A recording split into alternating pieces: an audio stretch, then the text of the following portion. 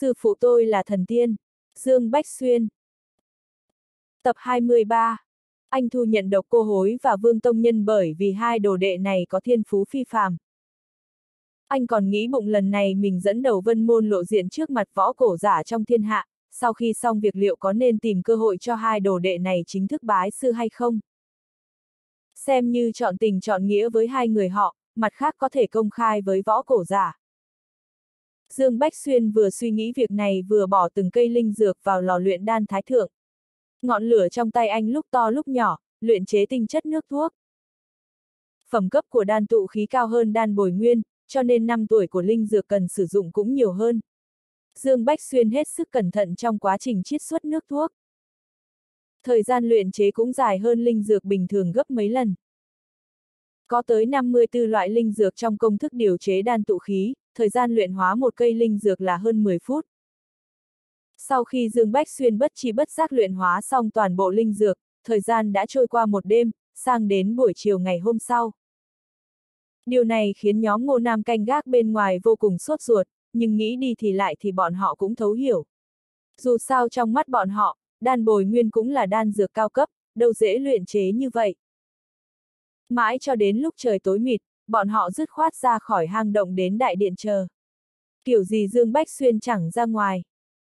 Mà trong mật thất luyện đan, ngày thứ hai sau khi trời tối, rốt cuộc Dương Bách Xuyên cũng tiến vào giai đoạn thu đan. Khác với đan bồi nguyên, thủ quyết thu đan tụ khí nhiều gấp đôi, lên tới 72 thủ ấn.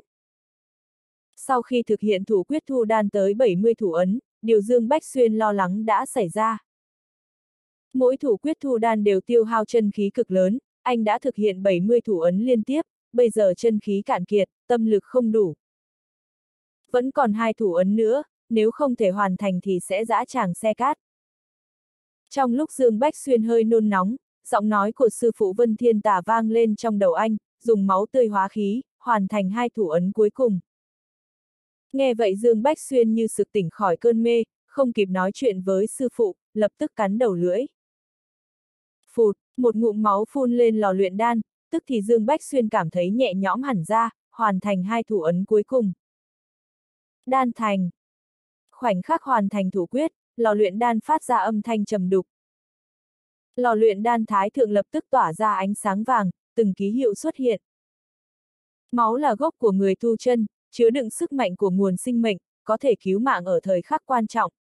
Nhưng trên thực tế, sử dụng máu là hành vi tiêu hao gốc rễ, nhẹ thì thần hồn tổn thương, nặng thì tu vi thụt giảm. Vì vậy thông thường không có ai muốn sử dụng sức mạnh của máu tươi. Nhưng chút máu ấy chẳng là gì đối với Dương Bách Xuyên, song việc anh có thể từ từ bổ sung. May mà có sư phụ nhắc nhở, nếu không thì anh thật sự không biết nên làm gì. Bây giờ nghĩ lại mới thấy đứa trẻ có sư phụ hạnh phúc biết bao. Sau khi nhìn thấy tình hình bên trong lò luyện đan thông qua linh thức, Dương Bách Xuyên thở phào nhẹ nhõm rồi nở nụ cười. Cảm ơn lão già nhé. Nếu không có người nhắc nhở thì lò đan tụ khí này sẽ hỏng mất. Dương Bách Xuyên nói với sư phụ. Nhưng lại nhận về sự khinh bỉ từ sư phụ Vân Thiên Tà, hừ, thằng nhóc thối, nếu con học thuộc kiến thức cơ bản về luyện đan thì còn cần ta nhắc nhở chuyện còn con này chắc. Không đủ sức luyện đan là tình huống thường gặp của luyện đan sư. Ở thời điểm cuối cùng, luyện đan sư giàu kinh nghiệm sẽ ngậm đan dược bổ sung chân khí trước, hoặc là dùng máu bổ sung để giảm bớt áp lực thực hiện thủ quyết nếu không còn cách nào khác. Đây đều là thường thức cơ bản của luyện đan sư, trong thường thức luyện đan mà sư phụ truyền dạy cho con có phần giới thiệu chi tiết. Thằng nhãi nhà con văn rốt võ nát, nếu con chăm chỉ đọc thì chẳng cần vi sư nhắc nhở, gặp phải tình huống này con sẽ biết xử lý như thế nào. Nhưng nói đi cũng phải nói lại, con đúng là vô dụng, luyện chế một lò đan tụ khí bé tí mà cũng mệt như chó chết. Thật là mất mặt. Giọng nói của Vân Thiên Tà cực kỳ trào phúng. Dương Bách Xuyên tức giận, không nhịn được phản bác, lão già chết tiệt, lần nào người cũng mắng con. Người không thể nói dễ nghe một chút sao, khen con vài câu thì chết à. Vân Thiên Tà, chết đấy. Dương Bách Xuyên. Anh thầm mắng 10.000 câu đờ mờ trong lòng, thật sự là anh bó tay với sư phụ Vân Thiên Tà. Con chẳng thèm cãi nhau với người, hừ. Dương Bách Xuyên mắng một câu rồi phất lờ sư phụ Vân Thiên Tà, đi đến vỗ lên lò luyện đan rồi mở nắp ra. Ngay sau đó, mùi hương đan dược sộc vào khoang mũi khiến tinh thần chấn động, hô hấp thoải mái. Lần này Dương Bách Xuyên chỉ luyện chế được 9 viên đan tụ khí, trông không nhiều lắm nhưng anh rất hài lòng. Đan dược này không lọt vào mắt sư phụ, ở tu chân giới cũng chỉ là đan dược bình thường, nhưng có thể luyện chế được nó trên trái đất không phải chuyện dễ. Dương Bách Xuyên rất hài lòng. Anh ngửi mùi hương đan dược, vẫy tay bỏ đan tụ khí vào chín lọ đan dược, cuối cùng lấy ra một viên đặt trong lòng bàn tay chuẩn bị uống. Đan tụ khí màu trắng ngà, căng tròn, to bằng hạt thủy tinh, trên bề mặt loáng thoáng hiện ra từng đường hoa văn giống như viên mã não tròn xoe được gia công tinh tế, trông rất đẹp. Khi cầm trong tay có thể cảm nhận được chân khí dồi dào. Không biết đan dược này có bao nhiêu tác dụng với mình, sau khi uống liệu mình có tăng liên tiếp ba cảnh giới nhỏ hay không? Dương Bách Xuyên ngồi xếp bằng vững vàng, sau đó uống đan tụ khí. Đan dược vào miệng lập tức tan thành linh khí khổng lồ, đột nhiên nổ tung trong cơ thể làm Dương Bách Xuyên giật mình. Sau đó, một cảnh tượng bất ngờ xuất hiện. Dương Bách Xuyên vội vàng vận chuyển càn khôn tạo hóa quyết.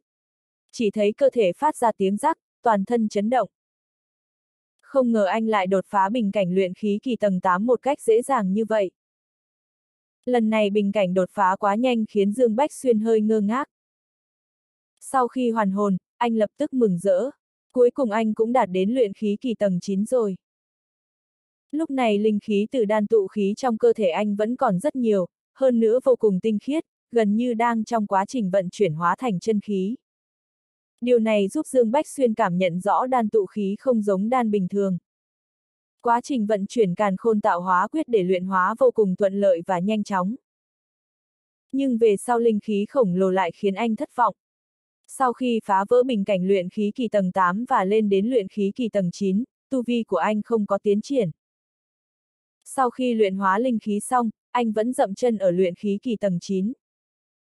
Tu vi không có tiến triển, Dương Bách Xuyên định thu lại nội công rồi hỏi sư phụ xem rốt cuộc thể chất ngũ hành của mình là cái quỷ gì mà bẫy người quá đi mất. Dương Bách Xuyên đang định lên tiếng thì cơ thể chợt run lên. Anh cảm thấy một luồng linh thức thoáng lướt qua người mình. Đây là lần thứ hai kể từ lúc anh tới thần Long Đàm. Ai vậy? Đột nhiên Dương Bách Xuyên hét to, đồng thời quan sát xung quanh.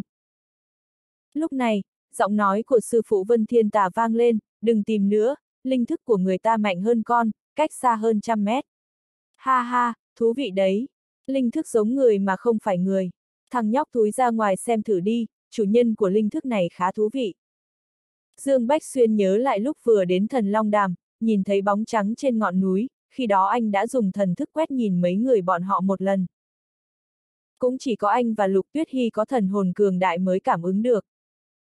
Bây giờ lại dùng linh thức rình coi một lần nữa không lẽ vẫn là bóng hình màu trắng trên ngọn núi hôm nọ. Nghe sư phụ nói chuyện, Dương Bách Xuyên khó hiểu hỏi, sư phụ, cái gì giống người lại không có linh thức giống của con người? Không lẽ không phải người? Trong lòng Dương Bách Xuyên càng thêm tò mò, nhưng nếu sư phụ úp úp mở mở, anh cũng không hỏi, vung tay lên thu lò luyện đan vào trong không gian hồ càn khôn, đi ra khỏi mật thất. Đi ra bên ngoài không nhìn thấy đám người ngô nam, Dương Bách Xuyên rất yên tâm. Lúc này lại nghe thấy sư phụ Vân Thiên Tà nói, đi về phía tây theo hướng hang động đá vôi, hình như bên đó có một con đường có thể đi lên, linh thức mà con nói truyền đến từ bên đó.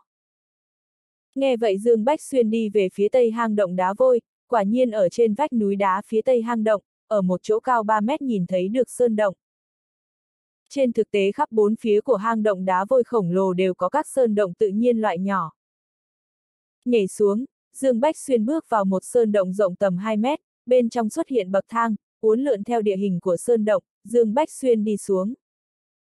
Lối đi trong sơn động đều hướng về phía trước, hình như thông thẳng lên trên đỉnh núi. Hơn nữa đi được một đoạn lại xuất hiện một ngã rẽ, nơi này được hình thành tự nhiên, nhưng lại có dấu vết của con người. Có sư phụ chỉ dẫn, Dương Bách Xuyên không những không lạc đường, ngược lại một đường đi thẳng về phía trước. Toàn bộ hang động đá vôi nằm trong bụng cả một thôn xóm dưới chân núi. Nhìn từ thôn xóm lên, đỉnh núi này cao ít nhất trăm trượng. Dương Bách Xuyên đi trong sơn động hẹp hòi, sau khi đi mười mấy phút, anh xuất hiện trong một đại sảnh rộng tầm mấy trăm mét vuông, được bày biện bàn ghế đá, hình như có người cư trú ở đây. Đứng ở chỗ này ước chừng đang ở độ cao hơn 200 mét. Vừa đi vào đại sảnh này, sư phụ lại mở miệng nói, cẩn thận một chút, phi sư cảm giác chủ nhân của linh thức mà con nói đang ở trong đại sảnh này. Sư phụ, người đừng lừa con, cái đại sảnh này nhìn phát là thấy hết, con không nhìn thấy một ai cả, ngay cả một bóng quỷ cũng không thấy. Dương Bách Xuyên trợn trắng mắt nói. Thằng nhóc thối, ta nói con còn không tin, đi lên phía trước có một cửa đá, không tin con nhìn kỹ xem. Không thể nào, ở đâu? Nói xong, Dương Bách Xuyên đi lên trước vài bước, quả nhiên thấy được một cửa đá. Thật sự có một cánh cửa. Thử đẩy xem, có lẽ sẽ mở được, chắc đối phương cũng phát hiện con đã đi vào. Vâng, con muốn nhìn xem là thần thánh phương nào. Trong miệng nói là thần thánh phương nào nhưng thật ra trong lòng anh đã có suy đoán. Audio điện tử võ tấn bền. Cường độ linh thức có thể vượt qua trăm mét. Ở trong địa bàn của thần Long Đàm, cũng chỉ có cao thủ thần bí trong truyền thuyết của thần Long Đàm. Có lẽ là một vị cường giả bẩm sinh. Trong lòng nghĩ vậy, Dương Bách Xuyên giơ tay đẩy cửa đá ra. Đúng lúc này, một trận ầm ầm ầm vang lên, cửa đá dày hơn một mét tự động mở ra. Ngay sau đó một âm thanh vô cùng già nua, trầm thấp khàn khàn vang lên, mời khách quý vào. Sao nghe giống giọng của một ông lão 90 tuổi vậy? Dương Bách Xuyên nói thầm một câu. Lúc này cửa đá đã mở ra, anh nhìn thấy được một đại sảnh rộng hơn trăm mét vuông. Vừa đi vào đại sảnh, điều đầu tiên Dương Bách Xuyên cảm nhận được là tiên khí nồng đậm, nói trắng ra là sương mù thì thích hợp hơn. Bốn phía có dạ minh châu chiếu sáng, bốn phía trồng các loại hoa cỏ mà Dương Bách Xuyên chưa từng gặp qua, mùi hoa xâm nhập vào tận phổi. Bên tai truyền đến âm thanh ào ào của dòng nước, nhìn kỹ thì phát hiện có một thác nước đang chảy xuôi ngẩng đầu nhìn lại thì thấy thác nước này chảy xuống từ đỉnh của đại sảnh, không cần hỏi cũng biết là nước chảy vào từ sườn núi. Hơn nữa ở trung tâm đại sảnh có một cửa động đường kính 3 mét nối thẳng đỉnh núi, trong bóng đêm nhìn giống như ánh trăng chảy vào đại sảnh. Nơi nó chiếu xuống là một hồ nước nơi thác nước chảy xuống, toàn bộ hồ nước trong hang động đá vôi giống hệt cái bên trong thần long đàm. Nhưng có một chỗ khác, trung tâm hồ nước đường kính 30 mét có một bức tượng, là một con cá vàng được điêu khắc từ ngọc trắng. Ở một góc khác có một cái giường đá, bên trên phủ một lớp lụa trắng, toàn bộ bố cục bày biện trong đại sảnh cho Dương Bách Xuyên một cảm giác rất đàn bà. Nghĩ thầm trong lòng, có phải hay không đàm chủ thần bí của thần Long Đàm là một ông già có tính cách hơi đàn bà. Suy nghĩ này vừa xuất hiện, Dương Bách Xuyên rất muốn chạy đến bên hồ xem trong hồ nước có cá vàng hay không. Còn chưa nhìn thấy, phía sau vang lên một tiếng, mời ngồi. A Dương Bách Xuyên quay đầu lại, giật mình, vừa quay đầu lại thì thấy phía sau 3 mét xuất hiện một người mặc áo bào trắng bọc từ đầu đến chân, ngay cả tròng mắt cũng không nhìn rõ, mang theo khăn che mặt. Lần này nghe rõ ràng là một âm thanh già nua của một ông già, cũng chính là âm thanh anh nghe được lúc trước. Nhưng âm thanh này quá mức khàn, có hơi khó nghe. Ngài, ngài là đàm chủ thần long đàm sao? Dương Bách Xuyên hoàn hồn lại, hỏi một câu. Coi như vậy, cậu là Dương Bách Xuyên. Người mặc áo trắng hỏi. Là tôi, ngài biết tôi. Xin hỏi, người dùng linh thức dò xét hai lần trước là tiền bối. Dương Bách Xuyên hỏi lại, bây giờ anh đã xác định bóng người nhìn thấy trên núi khi đi vào thần long đàm chính là người này, không phải là ảo giác của bản thân. Lần trước nghe Ngô Nam và Vương Huyền cơ kể về cậu, có thể luyện chế đan bồi nguyên, hiện tại chỉ có võ đăng, cậu không phải người võ đăng, muốn không biết cũng khó. Còn việc dùng linh thức dò xét, chính là tôi. Không ngờ đạo hữu có thể cảm nhận được, lần đầu tiên dò xét đã cảm thấy đạo hữu không phải người bình thường, lần thứ hai ở phòng luyện đan, tôi cảm nhận được sự dao động cường đại của linh khí, nên tò mò liếc nhìn đạo hữu, có chút mạo phạm. Bây giờ tôi có thể khẳng định, đạo hữu tuyệt đối không phải võ cổ giả, có lẽ là luyện khí cổ sĩ đúng chứ? Người mặc áo trắng nói xong, Dương Bách Xuyên cực kỳ chấn động. Chuyện anh là người tu chân, ngoại trừ người nhà, anh chưa nói cho bất cứ ai, nhưng lại bị người trước mắt nói toạc ra. Quan trọng hơn người ta nói là dùng linh thức quan sát anh. Dùng linh thức quan sát, khoảng cách nơi này đến phòng luyện đan là 200 mét. Điều này có nghĩa gì? thuyết minh linh thức của đối phương có thể mở rộng ít nhất 200 mét. Mà linh thức của Dương Bách Xuyên mới chỉ có 27 mét. Từ trong lời nói của người mặc áo trắng cũng đã lộ ra một tin tức, biết luyện khí cổ sĩ, có nghĩa người nọ cũng là luyện khí cổ sĩ. Sự xuất hiện của một người tu chân cường đại, làm sao Dương Bách Xuyên lại không khiếp sợ cho được. Đối phương còn là đàm chủ thần Long Đàm. Trong sự khiếp sợ, Dương Bách Xuyên trộm hỏi sư phụ Vân Thiên Tà, sư phụ, tu vi của ông ta là gì? Chỉ nghe sư phụ Vân Thiên Tà cười ha ha nói, người này là yêu. Một câu khiến Dương Bách Xuyên chấn động lần thứ hai. Yêu.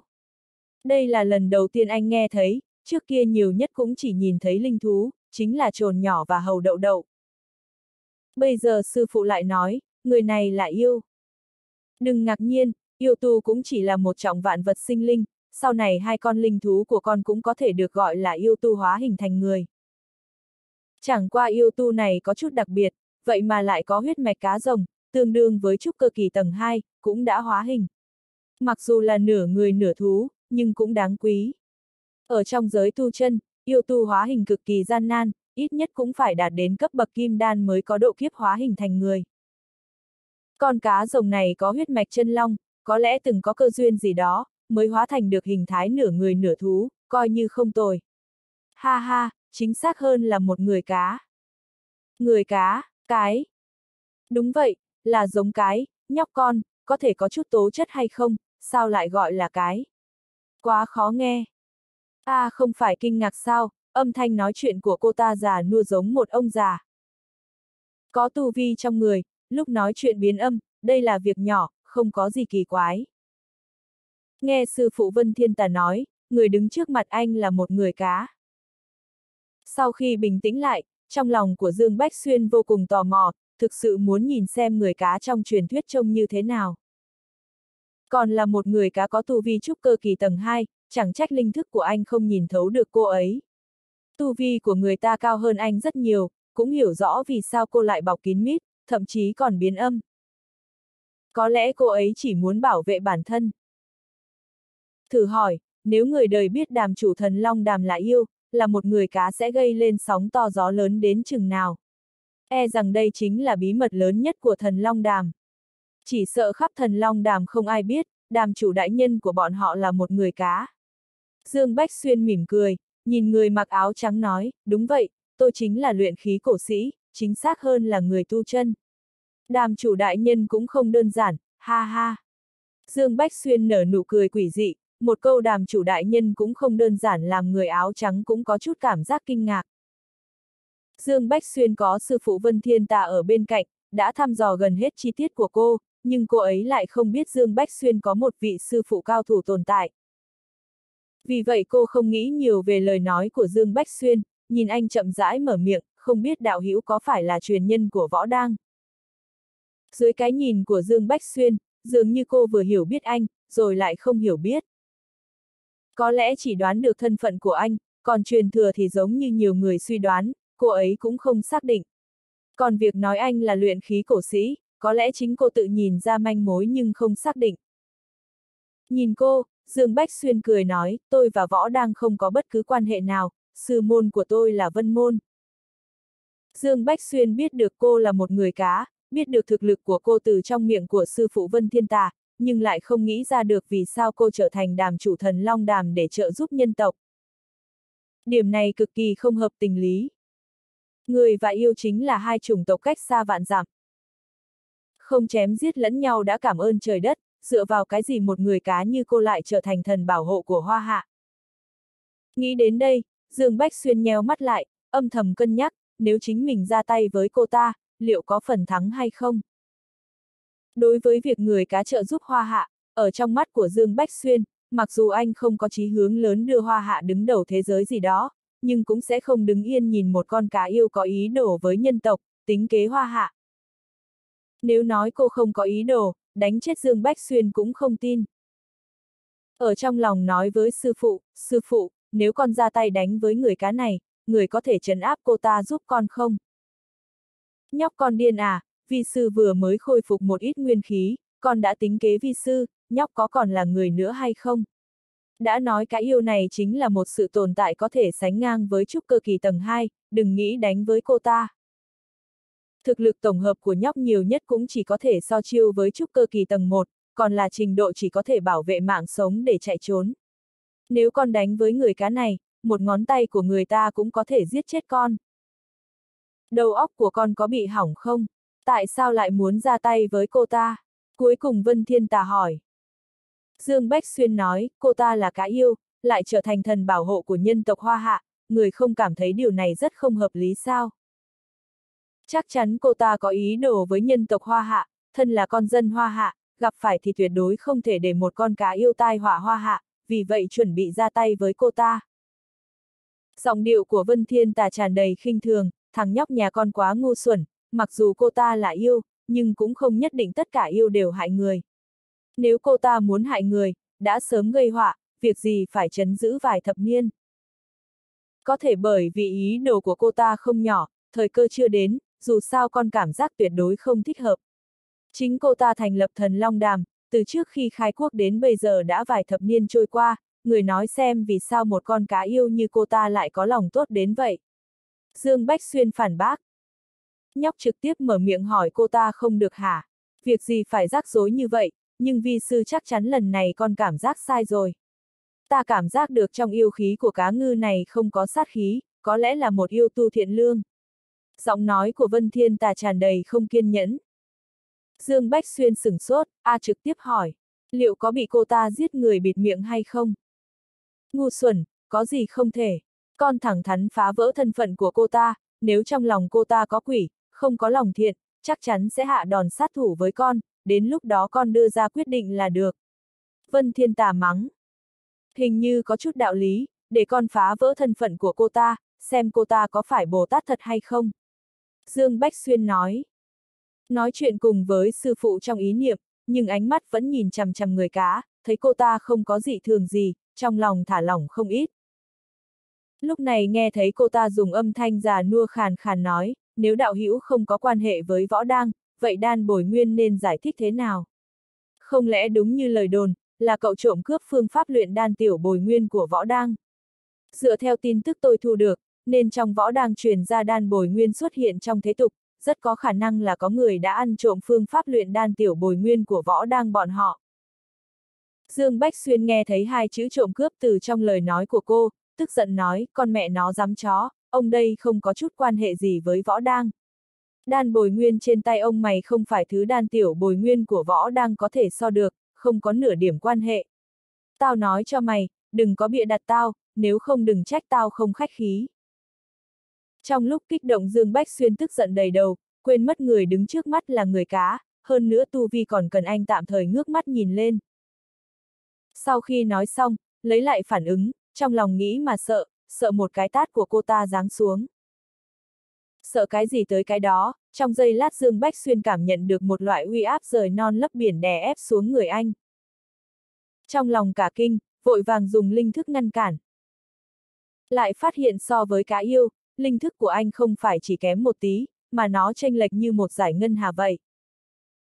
Dưới sự uy áp linh thức của cô, Dương Bách Xuyên cảm giác linh thức của mình giống như trẻ lên ba đang đối mặt với một người đàn ông khỏe mạnh vạm vỡ. Căn bản không phải cùng một cấp bậc. Linh thức va chạm lập tức bại lui, uy áp của đối phương đè nặng trên người anh, như thực chất hóa, làm cho Dương Bách Xuyên suýt chút nữa quỷ dạp xuống đất. Nhưng cũng may anh là người tu chân, có công pháp tu luyện chuyên môn chống đỡ linh thức. Lúc sắp khom lưng, Dương Bách Xuyên vận chuyển nguyên thần kinh. Sau khi vận chuyển nguyên thần kinh, khó khăn lắm anh mới đứng vững được trước uy áp của người cá. Dương Bách Xuyên chậm rãi đứng thẳng lên.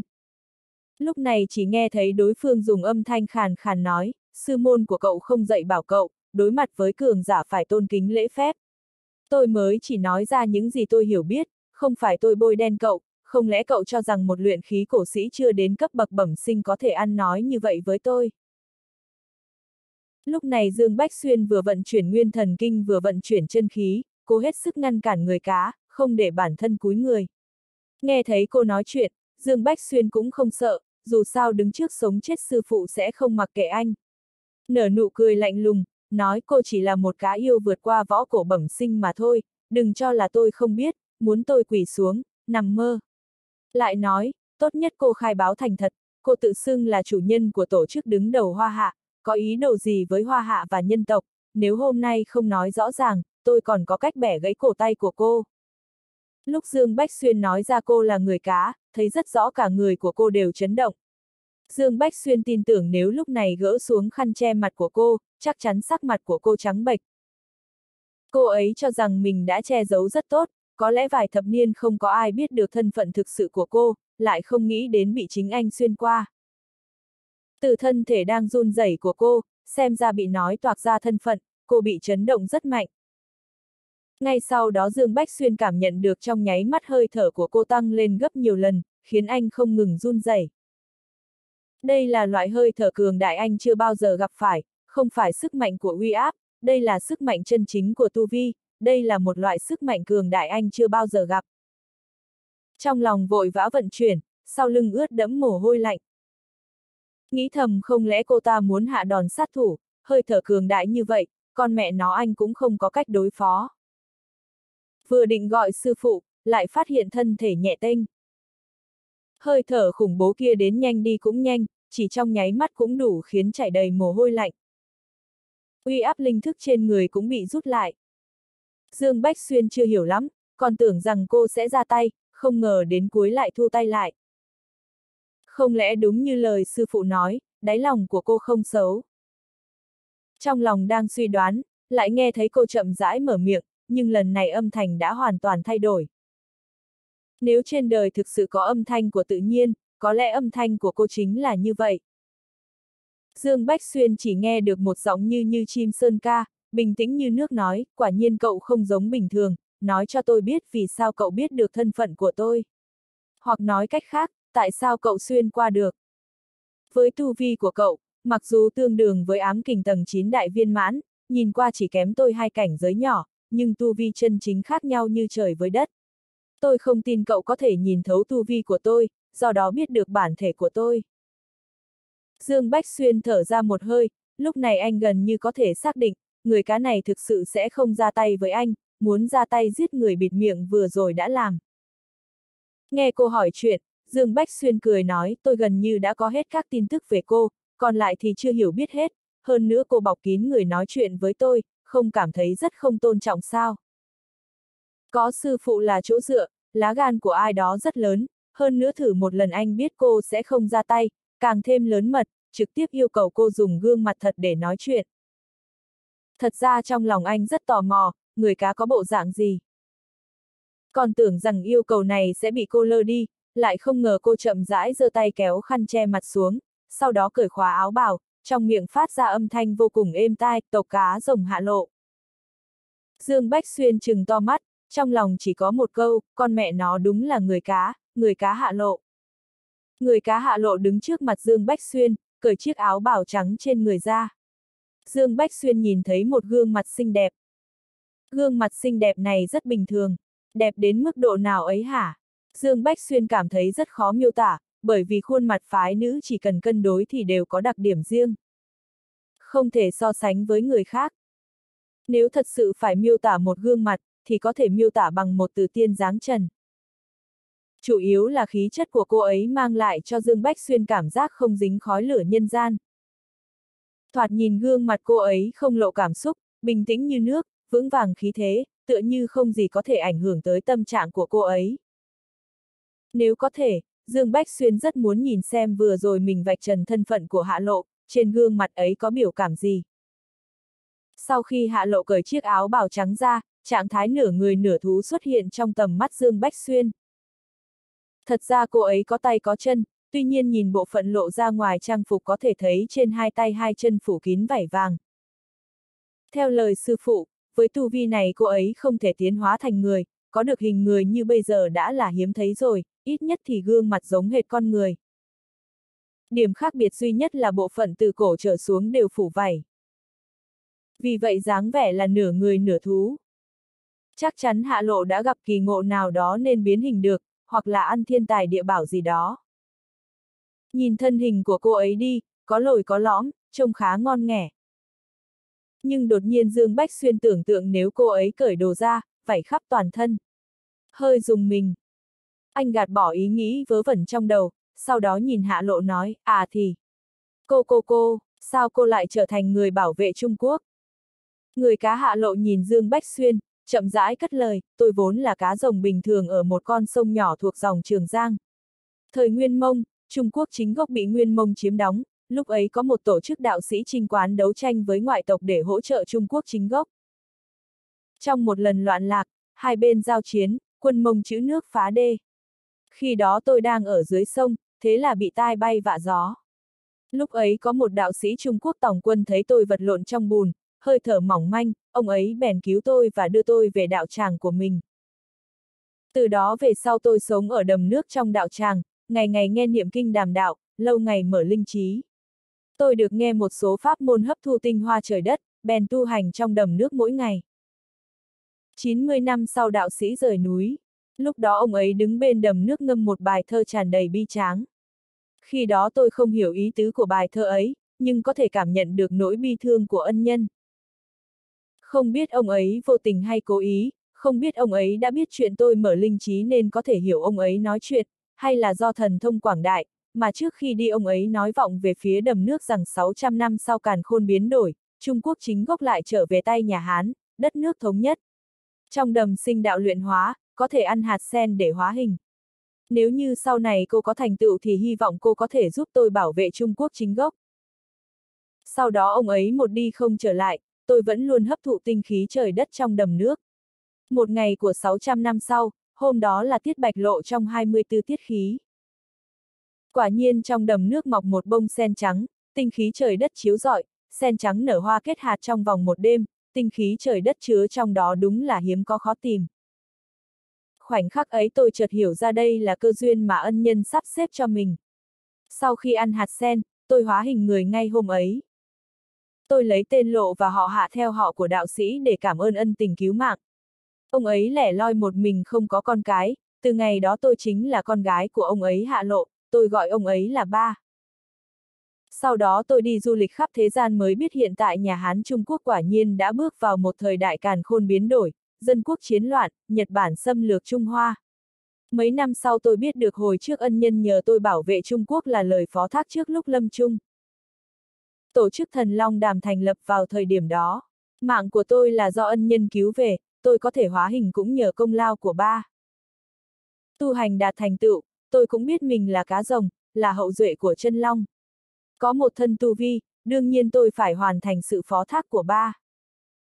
Thần Long đàm từ thời kháng Nhật cho tới nay, tôi không dám quên lệnh của ba, không dám quên ơn huệ của ông ấy, bảo vệ Trung Quốc chính là sứ mệnh của tôi. Cậu cũng thấy đấy, mặc dù tôi đã hóa hình nhưng là trạng thái nửa người nửa thú, muốn làm việc trong thế giới loài người thì phải che giấu dấu vết của mình. Vì vậy trước giờ ở thần Long Đàm, tôi vẫn luôn rất thần bí. Nhưng thật ra ai có thể thấu hiểu nỗi cô độc của tôi. Cậu là người duy nhất nhìn thấu thân phận của tôi trong suốt bao nhiêu năm qua. Ban đầu tôi định giết cậu bịt miệng, không để cho cậu biết thân phận của tôi. Nhưng bao năm qua tôi chẳng có lấy một người cùng trò chuyện. Từ khi cậu xuất hiện, tôi cảm nhận được hơi thở minh mông trên người cậu. Điều này khiến tôi cảm thấy dường như cậu cũng có bí mật giống tôi. Nói ra cũng buồn cười, trong khoảnh khắc lúc nãy tôi có ảo giác chúng ta là đồng loại, tôi cảm thấy mình không thể giết được cậu, và lại cậu cũng không làm gì sai. Nói đến đây, hạ lộ dừng lại giây lát, chăm chú nhìn Dương Bách Xuyên, sau đó thốt ra một câu khiến anh rất kinh ngạc. Cậu có đồng ý làm bạn với một con cá không? Dương Bách Xuyên nhìn hạ lộ, trong lòng cực kỳ xúc động. Thứ nhất, anh tin câu chuyện đối phương kể, bởi vì ánh mắt của cô ấy đã nói cho anh biết. Câu chuyện này nghe hơi ảo, nhưng sư phụ cũng đã nói, tu chân chẳng thiếu chuyện lạ, không có gì là không thể. Người cá hạ lộ chịu ơn tất báo, hy sinh vì loài người và Trung Quốc như vậy, Dương Bách Xuyên vô cùng kính nể cô ấy. Một con cá yêu biết chịu ơn tất báo như thế, con người cũng chẳng sánh bằng. Huống chi cô ấy thật sự đang giúp đỡ tộc người Trung Quốc. Cô ấy còn coi đạo sĩ đã cứu mình là ba. Cảm động biết bao. Ngay cả Dương Bách Xuyên cũng cảm thấy cô ấy rất tuyệt. Ngoài ra, ánh mắt và giọng nói của hạ lộ đều cho thấy nỗi cô đơn sâu sắc. Anh nghĩ kỹ thì thấy cũng đúng, Tu luyện mấy trăm năm hóa thành nửa người nửa thú, lại cố gắng từ thời kháng Nhật đến ngày hôm nay, thành lập nên thần Long Đàm giúp đỡ Trung Quốc thống nhất, gần 100 năm qua hạ lộ không dùng gương mặt thật gặp người khác. Thứ nhất là không dám, thứ hai là không thể. Nhưng cô ấy vẫn kiên trì tiếp tục, có thể tưởng tượng được những gian khổ trong đó. Không có ai nói chuyện với cô ấy, không có ai cùng hạ lộ làm những việc cô ấy muốn làm. Đây là một người cá tự xem mình là con người, nhưng trong mắt con người, cô ấy lại là cá yêu. Sao cô ấy lại không cô đơn kia chứ? Vì vậy, khi Dương Bách Xuyên nghe thấy cô ấy hỏi một câu đong đầy khát vọng chân thành cậu có đồng ý làm bạn với một người cá không, đột nhiên anh cảm thấy lòng hơi xót xa. Có lẽ đây mới là người cá thật sự. Chứ không phải đàm chủ đại nhân của thần Long đàm vô cùng thần bí trong mắt mọi người. Suy cho cùng thì hạ lộ cũng chỉ là một cô gái mà thôi. Tôi sẵn lòng làm bạn của cô. Dương Bách Xuyên nhìn đối phương với thái độ cực kỳ nghiêm túc. Tức thì Dương Bách Xuyên nhìn thấy giọt nước mắt lấp lánh trong đôi mắt vàng long lanh, sau đó hạ lộ nở nụ cười. Đột nhiên cô ấy chìa một tay về phía Dương Bách Xuyên, cánh tay ấy phủ đầy vảy vàng. Tiếp theo cô ấy cất lời, chào cậu, tôi là Hạ Lộ. Dương Bách Xuyên thoáng sửng sốt, chợt hiểu ra Hạ Lộ bắt trước con người. Anh cũng chia tay mỉm cười, tôi là Dương Bách Xuyên. Thật ra đây là hai người làm quen lại từ đầu. Dương Bách Xuyên và một người cá đã trở thành bạn bè. Nhìn nụ cười trên gương mặt Hạ Lộ, Dương Bách Xuyên bỗng cảm thấy cô ấy thật ngây thơ. Trong lòng anh nảy sinh một nghi vấn, cô ấy ngây thơ như vậy thì quản lý thần long đàm kiểu gì? Trong cuộc trò chuyện sau đó, Dương Bách Xuyên mới biết thì ra hạ lộ thật sự rất ngây thơ. Trên thực tế cô ấy không quản lý thần long đàm, mà để cho cấp dưới quản lý. Tác dụng thật sự của đàm chủ đại nhân thần bí hạ lộ chính là đe dọa. Lúc thần long đàm gặp phải chuyện khó giải quyết hoặc là đối mặt với kẻ địch, cô ấy sẽ ra mặt. Thay vì nói hạ lộ là đàm chủ đại nhân thần bí của thần long đàm, nói một đám lão quái vật coi cô ấy là vũ khí hạt nhân thì chính xác hơn. Vì vậy cô ấy ngây thơ cũng chẳng có gì vô lý. Khi Dương Bách xuyên hội về tông môn lâu đời, Hạ Lộ nói, thật ra tông môn lâu đời vẫn luôn ở thế tục, các gia tộc võ cổ hiện nay chính là người đại diện của bọn họ. Các tông môn lâu đời này đóng cửa lánh đời kỳ thực là đã tìm được một nơi giống như thần long đàm mà thôi. Sau đó Dương Bách Xuyên hỏi vấn đề mà mình muốn biết nhất, trong tông môn lâu đời có nhiều cao thủ tiên thiên không? Cô hiểu biết về họ bao nhiêu? Nghe Dương Bách Xuyên hỏi về tình hình cao thủ tiên thiên của tông môn lâu đời, hạ lộ trầm tư một lúc rồi nói, thật ra tôi cũng không rõ lắm. Bởi vì những tông môn lâu đời kia đều có đạo tràng riêng, lại còn rất bí mật, ngoại trừ bọn họ và khách mời ra, người ngoài khó mà biết được căn cứ của tông môn lâu đời. Tôi không biết ở các tông môn có bao nhiêu cao thủ tiên thiên, nhưng tôi có thể khẳng định một điều, mỗi tông môn không có nhiều võ cổ giả cấp bậc tiên thiên. Nhưng trong số những võ cổ giả tiên thiên mà tôi biết, người mạnh nhất là tiên thiên tầng 6. Đó là cao thủ đến từ núi Côn Luân tôi gặp trong thời kỳ kháng Nhật. Hồi ấy tôi gặp người ta chỉ có đường trốn tránh. Đương nhiên phần lớn đều là võ cổ giả tiên thiên tầng 1 tầng 2, tuyệt đối không nhiều bằng ám kình. Nhưng nghĩ kỹ lại thì từ lúc tôi hóa hình đến nay, hẳn là có thêm không ít. Võ cổ giả cấp bậc tiên thiên có thể chạm tới đại đạo, so với ám kình hoàn toàn là hai khái niệm khác nhau. Tuổi thọ của võ cổ giả tiên thiên rất dài, sống lâu hơn người bình thường ba bốn hoa giáp là chuyện bình thường. Một hoa giáp bằng 60 năm. Xét về võ lực, tiên thiên và ám kình khác nhau một trời một vực, không thể so sánh. Ví dụ như võ cổ giả cấp bậc tiên thiên có thể phi hành một khoảng cách ngắn. Có thể bay bao xa thì phải xem cường độ nội lực của bản thân. Hơn nữa, nội lực của võ cổ giả tiên thiên sẽ biến đổi thành chân nguyên, hay còn gọi là tiên thiên chi khí. Đây là một loại năng lượng ngang tầm luyện khí cổ sĩ, vô cùng đáng sợ. Năng lượng trong cơ thể tôi chính là loại năng lượng này. Và lại tôi cảm thấy năng lượng trong cơ thể cậu cũng có cùng cấp bậc. Điều này chứng tỏ cậu đúng là luyện khí cổ sĩ giống ba tôi, khiến tôi rất tò mò. Mấy trăm năm trước sau khi có sức mạnh tu hành, tôi nhận thấy thứ trong cơ thể ba tôi chính là loại năng lượng này. Có lẽ nó tên là chân khí nhỉ, hoặc là chân nguyên. Nói thật lòng, cậu đừng thấy hiện tại tôi là tiên thiên tầng 2 mà lầm, thật ra tôi không có công pháp tu hành chính cống đâu. Tôi có ngày hôm nay là nhờ biết được một số pháp môn hấp thụ tinh hoa trời đất từ ba tôi, thế rồi cứ ngơ ngơ ngác ngác đi tới ngày hôm nay. Trước giờ tôi vẫn luôn muốn tìm người giao lưu trao đổi những điều tâm đắc trong tu luyện, nhưng mỗi lần gặp nhân vật cấp bậc tiên thiên đều là người của tông môn lâu đời. Những người đó coi truyền thừa còn quan trọng hơn tính mạng, không phải đệ tử dòng chính thì không tiết lộ nửa chữ. Hơn nữa, những cao thủ trong tông môn lâu đời thường có tâm tính coi thường tất thảy, bọn họ thường hay vi phạm quy tắc tục giới. Tôi vẫn luôn thực hiện nguyện vọng của ba, coi Trung Quốc là nhà mình, một lòng mong mỏi đất nước vượt qua khó khăn, hướng tới ánh sáng hoàn toàn mới. Vì vậy, nếu xảy ra chuyện gì thì tôi sẽ ra tay che chở. Do đó tôi đã đắc tội với rất nhiều tông môn lâu đời. Mấy chục năm qua, tôi và bọn họ không ngừng đấu tranh gay gắt mới duy trì được cục diện ngày hôm nay. Mặt khác, rất nhiều tông môn lâu đời cũng là truyền thừa của Trung Quốc, nhất là truyền thừa của nhà Hán. Vì thế bọn họ cũng tém lại phần nào, bảo vệ Giang Sơn nhà Hán, không dám hành động thái quá. Thật ra tông môn lâu đời cũng chia thành mấy phe cánh, có vài phe cánh vẫn giao hảo với thần Long Đàm, hay nói chính xác hơn là lòng hướng về Trung Quốc. Vì đủ loại nguyên nhân mà giới võ cổ ngày nay khá bình yên. Tôi thừa biết thật ra bọn họ cũng chỉ vì lợi ích mà thôi. Sau khi đạt tới cấp bậc tiên thiên, người ta được tiếp xúc với đại đạo, có thể xưng là võ đạo chân chính. Từ tiên thiên tầng 1 thăng cấp lên thiên thiên tầng 9 phải trả giá rất nhiều, trong đó có một đường tắt là tinh thạch tiên thiên.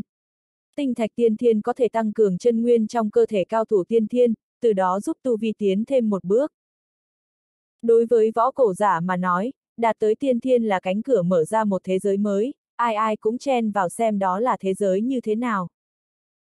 Tài nguyên tu luyện bị tất cả mọi người tranh đoạt, không chỉ tinh thạch tiên thiên mà còn có các loại linh dược. Bất cứ thứ gì có thể tăng chân nguyên đều trở thành miếng thịt béo bở trong mắt các thế lực lớn. Vì vậy phía sau các gia tộc võ cổ tục giới ít nhiều gì cũng có bóng dáng của tông môn lâu đời, nơi có linh dược hoặc thiên tài địa bảo trên trái đất đều bị mọi người phân chia vơ vét. Thật ra mỗi đại hội võ cổ là một lần phân chia tài nguyên. Thực lực mạnh tiếp tục được giới võ cổ công nhận thì giành được tài nguyên tốt nhất, thực lực yếu thì bị chỉ trích loại bỏ. Còn nữa, mỗi đại hội cổ võ sẽ xuất hiện một vài thế lực mới, đa số các thế lực này đều là gia tộc hoặc tổ chức được cao thủ cấp cao nâng đỡ, thông qua cách thức đấu võ trên đại hội võ cổ để nhận được sự công nhận của các thế lực lớn giới võ cổ, từ đó trở thành chùm sỏ một phương, có tư cách tranh đoạt tài nguyên. Ví dụ như vân môn của cậu, trước đây vân môn chưa từng xuất hiện trong giới võ cổ, vì vậy nếu cậu muốn vân môn hợp pháp hóa thì phải được 10 thế lực lớn nhất giới võ cổ công nhận, không thì sẽ chẳng có ai để mắt đến cậu, mà đệ tử vân môn các cậu tung hoành trong giới võ cổ sẽ gặp nhiều bất tiện.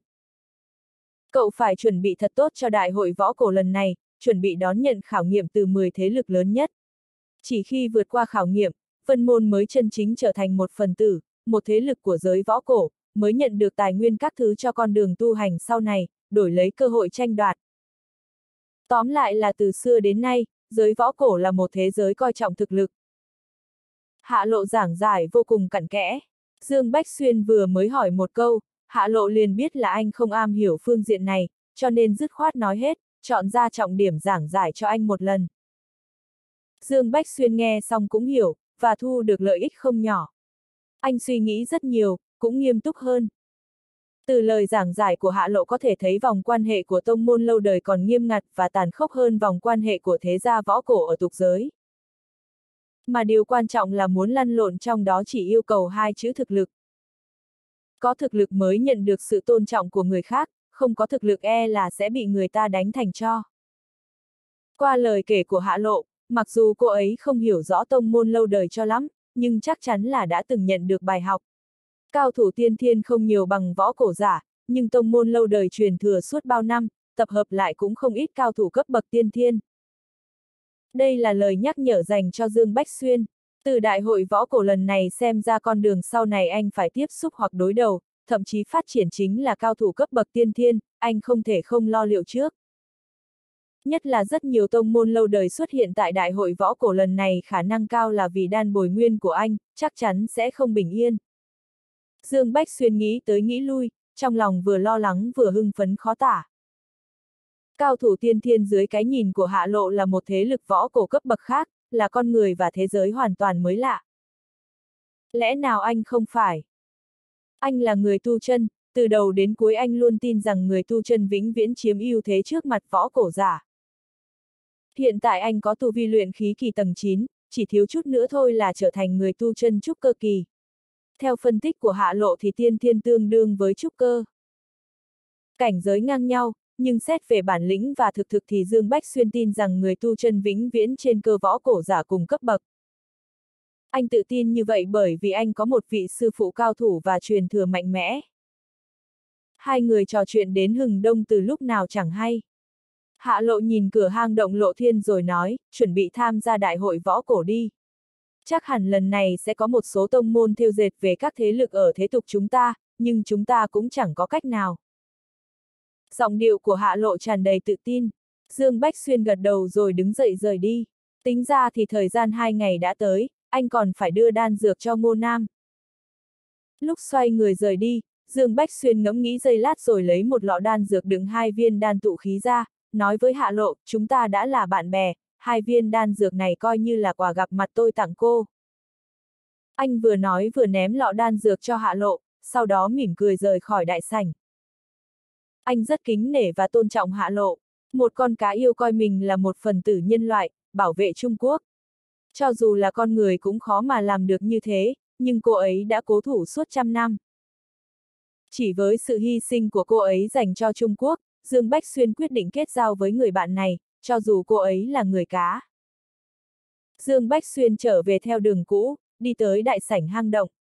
Từ xa anh đã trông thấy nhóm Ngô Nam và bọn Lục Tuyết Hy đang đối đầu, dáng vẻ có thể đánh nhau bất cứ lúc nào. Anh nghe thấy Lục Tuyết Hy lạnh lùng hỏi Ngô Nam, các người làm gì tiên sinh nhà tôi rồi? Mau gọi ngài ấy ra đây, nếu không đệ tử vân môn chúng tôi sẽ liều chết với các người. Ngô Nam khổ sở đáp, thưa các vị, tôi, tôi thật sự không biết, cũng không dám làm gì Dương Tiên Sinh. Tôi chỉ sắp xếp phòng luyện đan cho cậu ấy luyện đan, không biết cậu ấy rời đi lúc nào. Chúng tôi cũng đang tìm cậu ấy. Hừ, nhất định là các người hại sư phụ của tôi. Nói mau, các người làm gì sư phụ tôi rồi? Hai đồ đệ độc cô hối và vương tông nhân đều dơ vũ khí lên. Mau gọi tiên sinh nhà tôi ra đây. Thấy mọi người đối đầu với nhóm ngô nam vì mình, Dương Bách Xuyên cảm thấy ấm lòng. Anh vừa nghĩ là biết mình mất tích hai ngày khiến mọi người cho rằng mình bị thần long đàm hại. Anh vội vàng đi tới, đồng thời hét to, mọi người đừng kích động, tôi không sao hết. Dương Bách Xuyên xuất hiện gỡ bỏ hiểu lầm giữa hai bên, mọi người đều tò mò anh đã đi đâu.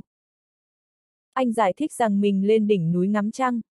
Lời giải thích này khiến đám người thần long đàm do ngô nam dẫn đầu đều đưa mắt nhìn nhau, lộ vẻ mặt cậu lừa quỷ à?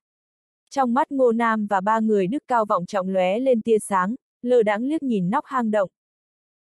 Nhưng bọn họ cũng biết Dương Bách Xuyên trả lời lấy lệ, người ta không muốn nói thì thôi.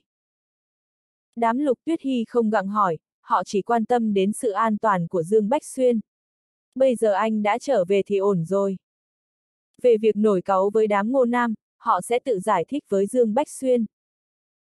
Sau khi biết mọi chuyện chỉ là hiểu lầm, hai bên đều thông cảm cho nhau và giảng hòa. Tiếp đó mọi người trở về đại điện thần Long Đàm. Trước ánh mắt nóng rực của Ngô Nam và đám vương thái sinh, Dương Bách Xuyên cười ha hả lấy ra hai lọ đan dược.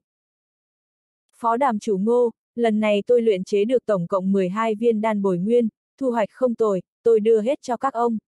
Theo giao ước trước đó, thật ra mỗi lò dương bách xuyên chỉ cần giao cho thần long đàm 3 viên là được.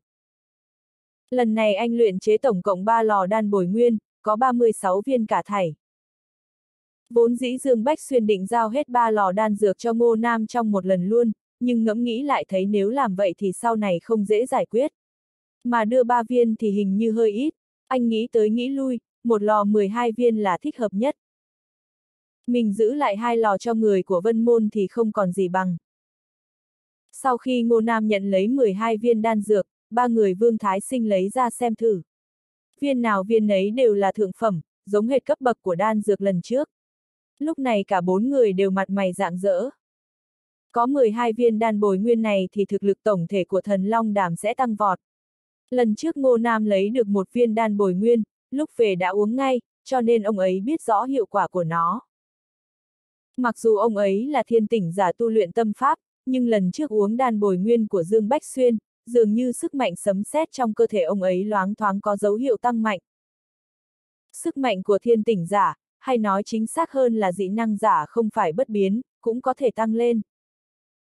Sau khi lấy được 12 viên đan dược, Ngô Nam và ba ông lão cảm ơn Dương Bách Xuyên một hồi, ngay cả tư đồ nhất tu cũng không còn oán hận Dương Bách Xuyên chút nào. Hiện tại ông ta cực kỳ tin tưởng trên thế giới này có thiên tài tồn tại, và Dương Bách Xuyên chính là thiên tài trong thiên tài. Mới hai chục tuổi đầu đã là tiên thiên, lại còn có thể luyện chế ra đan dược cao cấp như vậy, quả là hiếm thấy. Tuy nhiên, tư đồ nhất tu không biết rằng thật ra Dương Bách Xuyên chưa thật sự đạt đến tiên thiên. Dựa theo phân loại cảnh giới võ cổ giả, hiện giờ Dương Bách Xuyên cùng lắm cũng chỉ là ám kình tầng 9 đại viên mãn. Nhưng xét về thực lực thì có lẽ anh chính là sự tồn tại vô địch trong những người cùng cấp bậc. Vì vậy bốn người ngô nam mới cho rằng anh là cao thủ thần thoại tiên thiên. Hiện tại đối với Dương Bách Xuyên mà nói, đan bồi nguyên chỉ là đan dược bình thường, không có nhiều tác dụng lắm, chỉ có chút hiệu quả với võ cổ giả mà thôi. Giờ đây anh đã luyện chế được đan tụ khí, đây mới là đan dược tu chân chính cống. Nhưng anh sẽ không nói cho bọn họ. Có 9 viên đan tụ khí, Dương Bách Xuyên đã dùng một viên. Theo hiểu biết của anh về đan dược lúc trước, anh dùng tối đa 3 viên sẽ hết tác dụng. Trước đó anh đã tặng 2 viên cho hạ lộ, bây giờ còn 6 viên. Dương Bách Xuyên định cho mấy người trong vân môn dùng. Anh muốn xem đan tụ khí có tác dụng với người tu chân bình thường hay không, rốt cuộc có công hiệu tăng liền ba cảnh giới nhỏ hay không. Dù sao anh cũng là một ngoại lệ, chỉ đột phá bình cảnh lên luyện khí kỳ tầng 9. Bầu không khí giữa hai bên dịu lại, ai nấy đều vui vẻ. Ngô Nam lên tiếng, tiên sinh, chúng ta đi thôi. Hôm nay đại hội võ cổ bắt đầu, địa điểm là một rãnh trời cách thần long đàm 60 dặm. Một dặm bằng 500 mét. Được, vậy thì đi thôi, dù sao tôi cũng không có việc gì. Dương Bách Xuyên tươi cười đáp lời. Anh cũng rất chờ mong đại hội võ cổ sẽ có dáng vẻ gì, sẽ xuất hiện yêu ma quỷ quái nào. Theo lời ông ngoại thì võ cổ giả nước ngoài cũng tới tham dự. Đại hội võ cổ chính là đại hội của toàn bộ người Hoa. Suy cho cùng thì mấy trăm mấy ngàn năm trước, mọi người đều có cùng tổ tông, có chung truyền thừa. Đại hội võ cổ tựa như tổng kết cuối năm một lần. Đương nhiên theo cách nói của hạ lộ thì đại hội võ cổ còn phân chia lại tài nguyên và quyền sở hữu khu vực có thiên tài địa bảo như là tinh thạch thiên thiên, linh dược. Dương Bách Xuyên vô cùng hứng thú với chuyện này. Thật ra tinh thạch tiên thiên chính là linh thạch, đó là thứ người tu chân không thể thiếu. Ngoài ra, anh cũng rất thiếu thốn các loại linh dược. Đan tụ khí tốt thì tốt đấy, nhưng thiếu linh dược. Linh dược anh thích góp được cộng thêm linh dược lừa từ ngô nam cũng chỉ luyện chế được một lò đan tụ khí, muốn luyện chế nữa thì không đủ linh dược. Vì vậy Dương Bách Xuyên rất có hứng thú với đại hội võ cổ. Mặc dù anh biết là nguy hiểm, nhưng tu chân vốn trái lẽ trời, làm gì có chuyện không nguy hiểm. Cầu phú quý trong nguy hiểm vậy. Và lại lần này anh dẫn theo người của Vân Môn là để mở mang hiểu biết. Ngay cả anh cũng không hiểu rõ võ cổ giả trong thế giới này. Chỉ có thể nói đây là chuyến đi của một tên gà mờ dẫn theo một đám tay mơ. Nhưng may mà Vân Môn có thực lực, chị em Lục Tuyết Hy là người tu chân chân chính đến từ Sơn Hải Giới, tuy hiện tại tu vi đã giảm đáng kể, nhưng thần hồn và kiến thức vẫn còn đó. Dương Bách Xuyên dự định mạnh tay bồi dưỡng tu vi cho hai chị em Lục Tuyết Hy, cho họ ít nhất hai viên đan tụ khí mình có. Hiện tại tu vi của chị em họ Lục là luyện khí kỳ tầng 5, mong rằng hai viên đan tụ khí có thể giúp tu vi thăng cấp lên luyện khí kỳ tầng 9. Đến lúc đó, Vân Môn sẽ có thêm một phần sức mạnh. Nói là tu vi của chị em họ Lục, chứ thật ra là tu vi của Lục Vũ Thư. Bởi vì cơ thể là của Lục Vũ Thư, Lục Tuyết Hy chỉ dùng chung thân thể với em gái.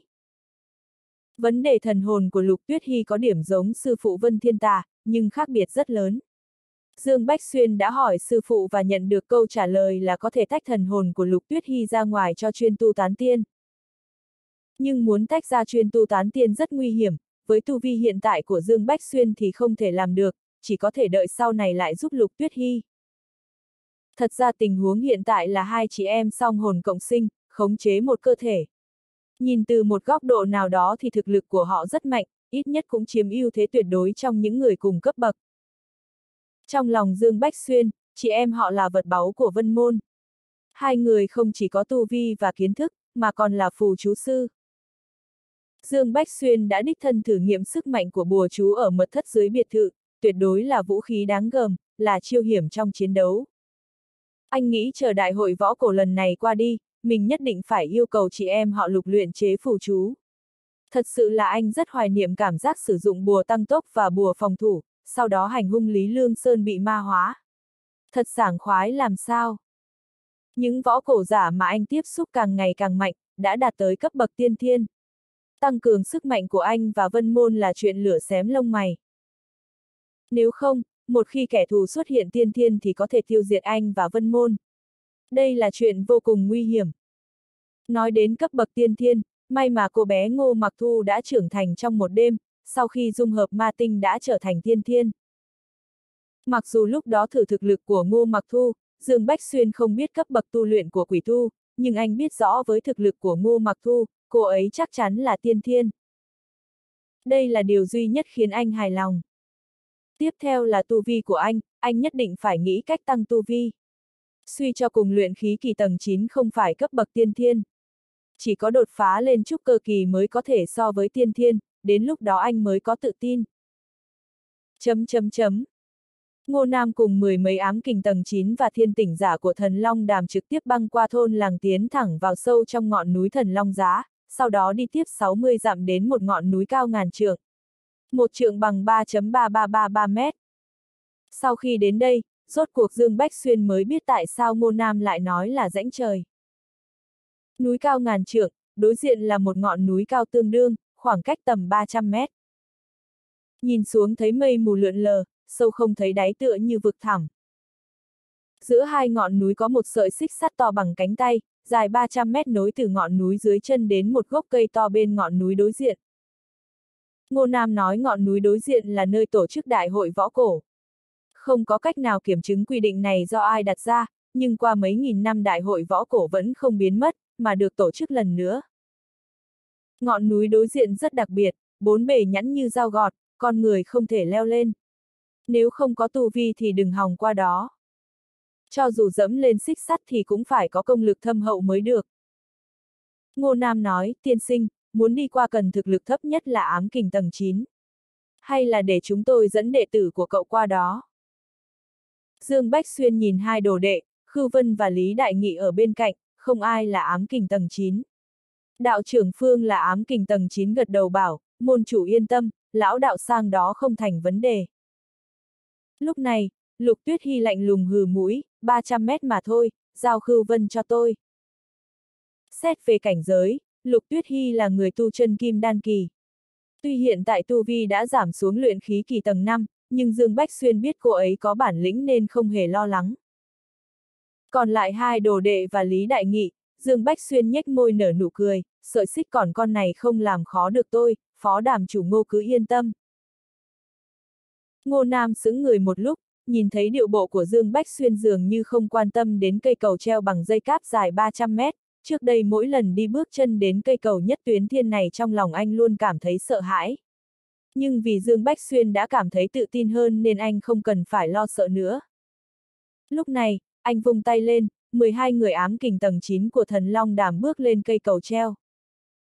Thực lực của những người này yếu nhất cũng là ám kình tầng 9 hạ phẩm, trong đó bốn người Ngô Nam, Vương Thái Sinh, Tôn Tự Quần và Tư Đồ Nhất Tu là mạnh nhất, đều là ám kình tầng 9 đại viên mãn.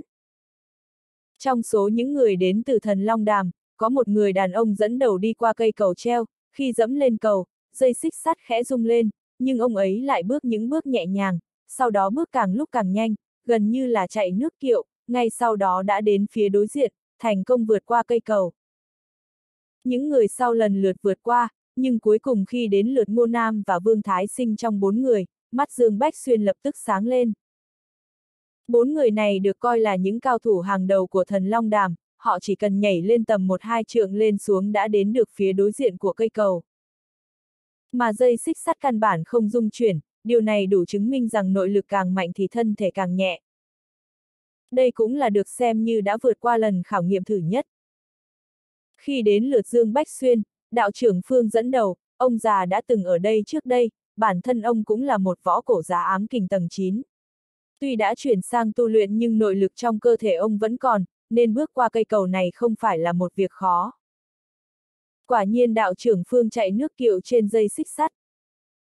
Tiếp theo là Lục Tuyết Hy, trong mắt Dương Bách Xuyên thấy cô ta nhấc khư vân lên bằng một tay rồi nhảy lên dây xích sắt, hơn nữa, Dương Bách Xuyên còn phát hiện ra chiếc châm cài trên đầu Lục Tuyết Hy phát ra một làn sóng linh khí. Lúc đầu Dương Bách Xuyên đã nhận ra chiếc châm cài của Lục Tuyết Hy là vật pháp khí cấp thấp, bây giờ xem ra mọi vật pháp khí đều hữu dụng đối với các tu chân giả. Có thể cảm nhận được sự ổn định của Lục Tuyết Hy khi bước trên chiếc cầu xích, nắm lấy cơ hội của Khưu Vân cùng nhóm người của Ngô Nam nhảy lên vài trượng đã có thể vượt qua cây cầu. Ở giữa bờ bên này còn có bốn người bao gồm Dương Bách Xuyên, Độc Cô Hối, Vương Tông Nhân và Lý Đại Nghị. Tất cả mọi người muốn Dương Bách Xuyên phải lần lượt đưa bốn người đến đó. Nhưng mà chỉ chốc lát sau mọi người đều mở to mắt nhìn. Ngay cả ba người độc cô hối cũng sững sờ. Dương Bách Xuyên cười nhếch miệng nói, Đại Nghị, để tôi còng anh. Lý Đại Nghị nghe vậy cũng không khách sáo, đi đến nằm trên lưng của Dương Bách Xuyên. Nhưng điều làm cho Lý Đại Nghị và những người khác kinh ngạc là Dương Bách Xuyên ngay lập tức vươn cả hai tay trái phải ra, nắm lấy nắm lấy tay độc cô hối vào vương tông nhân nhảy lên và đáp xuống dây xích sắt. Điều này khiến cho cả ba người họ bị dọa đến toát mồ hôi lạnh. Sắc mặt độc cô hối tái mét, sư phụ, không được đâu, ngài thả tôi xuống, tôi có thể tự bước qua dây xích sắt này mà. Đúng, đúng, không, sư phụ, ngài có thể đi qua đi lại hai lần đem chúng tôi vượt qua mà. Vương Tông Nhân cũng yếu ớt nói. Dương Bách Xuyên chừng mắt nói, tất cả câm miệng, các người không tin tôi à? CS, chúng tôi tin. Ba người yếu ớt nói, kỳ thật trong lòng bọn họ là vạn phần không tin. Phía dưới chân họ là một vực thẳng phủ sương mù. Nếu đưa từng người một qua cả ba đều tin tưởng 100% vào sức mạnh của Dương Bách Xuyên, nhưng còn ba người một lúc. Chuyện này, nhóm người ngô nam ở phía đối diện nhìn thấy, cũng kinh ngạc nhìn nhau, chẳng lẽ các cường giả tiên thiên thật sự kinh người như vậy sao? Dương Bách Xuyên không thèm để ý tới phản bác của ba người độc cô hối, anh hít sâu một hơi, dùng sức nhún chân nhảy lên, trực tiếp bay ra ngoài. Ngô Nam và những người khác nhảy xa nhất là hơn hai trượng, nhưng Dương Bách Xuyên đã nhảy lên với khoảng cách xa hơn 6 trượng. Khi anh ở Nam Quốc, anh có thể nhảy lên và thực hiện một chuyến bay ngắn trong vài giây. Bây giờ thì sao? Tối hôm qua, sau khi căn cứ tu luyện đạt đến luyện khí kỳ tầng 9 lại càng phát sinh vấn đề, huống chi là ba người, thậm chí có thêm ba người nữa cùng qua được. Đối với anh mà nói là chỉ hơi nặng một chút mà thôi. Thật ra là cũng muốn thể hiện trước mặt người của thần Long Đàm một chút, dù sao sau này cũng sẽ cùng thần Long Đàm hợp tác, nếu không thể hiện một chút thực lực thì làm sao có thể thành công được. Chưa kịp có thời gian nghỉ thì Dương Bách Xuyên đã đưa ba người bọn họ đứng trước mặt mọi người rồi. Vào lúc này, Ngô Nam và những người ở thần Long Đàm đã nhìn Dương Bách Xuyên với ánh mắt khá, họ tỏ ra tôn trọng anh hơn một chút. Sau khi đặt độc cô hối và hai người kia xuống, sắc mặt của ba người đều tái nhợt, trong lòng bị dọa sợ không nhẹ. Đối với Dương Bách Xuyên mà nói cũng đã tiến được một bước kiểm chứng thêm thực lực của bản thân. Đây là đỉnh của một ngọn núi lớn, nhìn từ phía đối diện thì có vẻ nhỏ nhưng thực ra sau khi đi qua rồi mới thấy ngọn núi này rất lớn. Có một con đường dẫn đến phía bên kia của ngọn núi, Ngô Nam nói với Dương Bách Xuyên nó từng là nơi tổ chức đại hội võ cổ. Mọi người lập tức thuận theo đường nhỏ mà đi, 10 phút sau, một quảng trường có đường kính vài nghìn mét xuất hiện trong hiện thực. Bốn phía được bao quanh bởi những cây khổng lồ, phía trước quảng trường là một bức tường đá với một số ký tự và hoa văn được chạm khắc trên đó. Ngô Nam nói đây là tâm pháp lịch đại võ cổ do các tiền bối trong các đại hội võ cổ để lại, có thể được lĩnh hội bởi các võ cổ giả khi đến đây. Nhưng có rất nhiều người trong số họ rất khó hiểu vì niên đại khá cũ rồi, một số tâm pháp thậm chí vẫn còn chưa hoàn thiện. Hàng trăm người đã xuất hiện xung quanh quảng trường khổng lồ, mỗi người đều là những võ cổ giả. Đại hội võ lâm trong thời kỳ môn phái võ cổ bị đóng cửa là buổi nâng cốc chúc mừng của tứ đại gia tộc trong thế tục, với thần Long Đàm là hậu thuẫn đứng sau. Họ là bốn gia tộc nhà họ Vương, Hiệp, Nhiếp, Triệu của Yến Kinh, thực tế, họ Vương chính là người của thần Long Đàm. Ngoài ra, những gia tộc còn lại đều là các gia tộc lớn từ khắp Trung Quốc, tổng cộng có 10 thế lực gia tộc. Những cường giả có thể đến tham gia đại hội võ cổ để thuyết minh các thế lực lớn ít nhất cũng là tồn tại của ám kình tầng 9, đương nhiên cũng có những thế lực là chỗ dựa để có được cái nhìn thấu đáo. Ngô Nam đi hết một con đường, có rất nhiều người chào hỏi ông ấy, ông ấy có vẻ là người có địa vị cao ở đây. Dương Bách Xuyên nghĩ cũng đúng, Ngô Nam là người của thần Long Đàm, cũng là cao nhân đứng phía sau nhà họ Vương, theo lý mà nói, ông ấy là người đứng đầu của các gia tộc lớn, cấp bậc tương đương với võ lâm minh chủ. Dương Bách Xuyên trên đường đi cũng có gặp một số người quen, chẳng hạn như nhà họ Mã ở Tây Bắc và nhà họ Diệp ở Yến Kinh. Diệp Tái Thiên người đứng đầu nhà họ Diệp bất ngờ xuất hiện, khi nhìn thấy Dương Bách Xuyên, ông ta hừ lạnh một tiếng, phách lối ngạo mạn.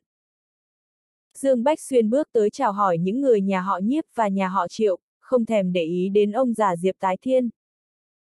Những người họ triệu là cha con triệu trường sinh và triệu vũ linh, tất cả đều nhiệt tình chào đón Dương Bách Xuyên.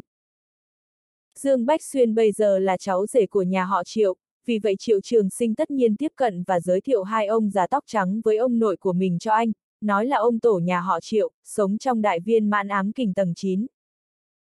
Trên thực tế, trong số những cổ tộc tới đây lần này đều có một vị trưởng lão gia tộc, tất cả đều là những lão già còn sống, ngày thường không thể thanh tu được. Bao gồm họ Diệp, có hai người, họ Mã ở Tây Bắc cũng có một người. Triệu Trường Sinh đưa Dương Bách Xuyên đi làm quen các trưởng lão của các gia tộc lớn của nhất quyền, ít nhiều có một hoặc hai lão quái có ám kình ca chín. Sau đó Triệu Trường Sinh kéo Dương Bách Xuyên sang một bên nói nhỏ, Bách Xuyên, lần này cậu phải chuẩn bị sẵn sàng, hậu viện của nhà họ Diệp đã rời núi, lão già bất tử Diệp tái thiên kia có thể sẽ đối phó với cậu, thật tiếc khi những thế lực là chỗ dựa nhà họ Triệu lần này không đến. Trong lòng Dương Bách Xuyên khẽ động nói, ông cụ Diệp là đang nói đến những người thuộc các giáo phái võ cổ sao. Chính xác, phía sau nhà họ Diệp là người của thanh thành cổ phái. Nghe nói những người bước ra lần này đều cho rằng cường giả tiên thiên thần thoại, cũng như có một người ở Côn Luân, đứng ngay sau thần Long Đàm hoặc nhà họ Vương là Côn Luân Sơn, ngoài ra môn phái cổ đại đằng sau nhà họ nhiếp cũng là một vị tiên thiên, đứng sau nhà họ nhiếp là võ đang. Tổng cộng có ba vị tiên thiên sẽ xuất hiện trong đại hội võ cổ lần này, phía sau nhà họ triệu của chúng ta là người của Nga Mi, đến bây giờ vẫn chưa xuất hiện, cũng có thể sẽ không xuất hiện, nếu không tôi sẽ không khoanh tay đứng nhìn nếu nhà họ Diệp muốn gây rắc rối với cậu. Triệu Trường Sinh có chút lo lắng nói. Dương Bách Xuyên gật đầu nói, cụ không cần phải lo lắng, tôi là người có chừng mực. Chẳng trách vừa rồi tên Diệp Tái Tiên còn cười như vậy, còn âm thầm cười nhạo anh, hóa ra kẻ chống lưng của ông ta đã xuất hiện. Sau khi tán gẫu vài câu, trong sân đột nhiên náo động, Dương Bách Xuyên quay đầu lại nhìn, trên mặt lộ ra vẻ vui mừng. Họ nhìn thấy 20-30 người đi ra từ lối vào của quảng trường, chính ông ngoại đoan mộc hành thiên của anh là người dẫn đầu. Lúc này, Triệu Trường Sinh nhắc nhở các võ cổ giả ở vùng ngoài đã đến, các cậu nên nhớ cố gắng đừng gây hiểm khích với những người này, những thế lực này bị coi là ma đạo, không nhận sự chào hỏi của võ cổ giả Trung Quốc của chúng ta, mặc dù các võ cổ giả đều là cùng một chiến tuyến, nhưng những người này quá tà tính. Dương Bách Xuyên cười nhếch miệng nói, yên tâm, đoan mộc hành thiên là ông ngoại của tôi.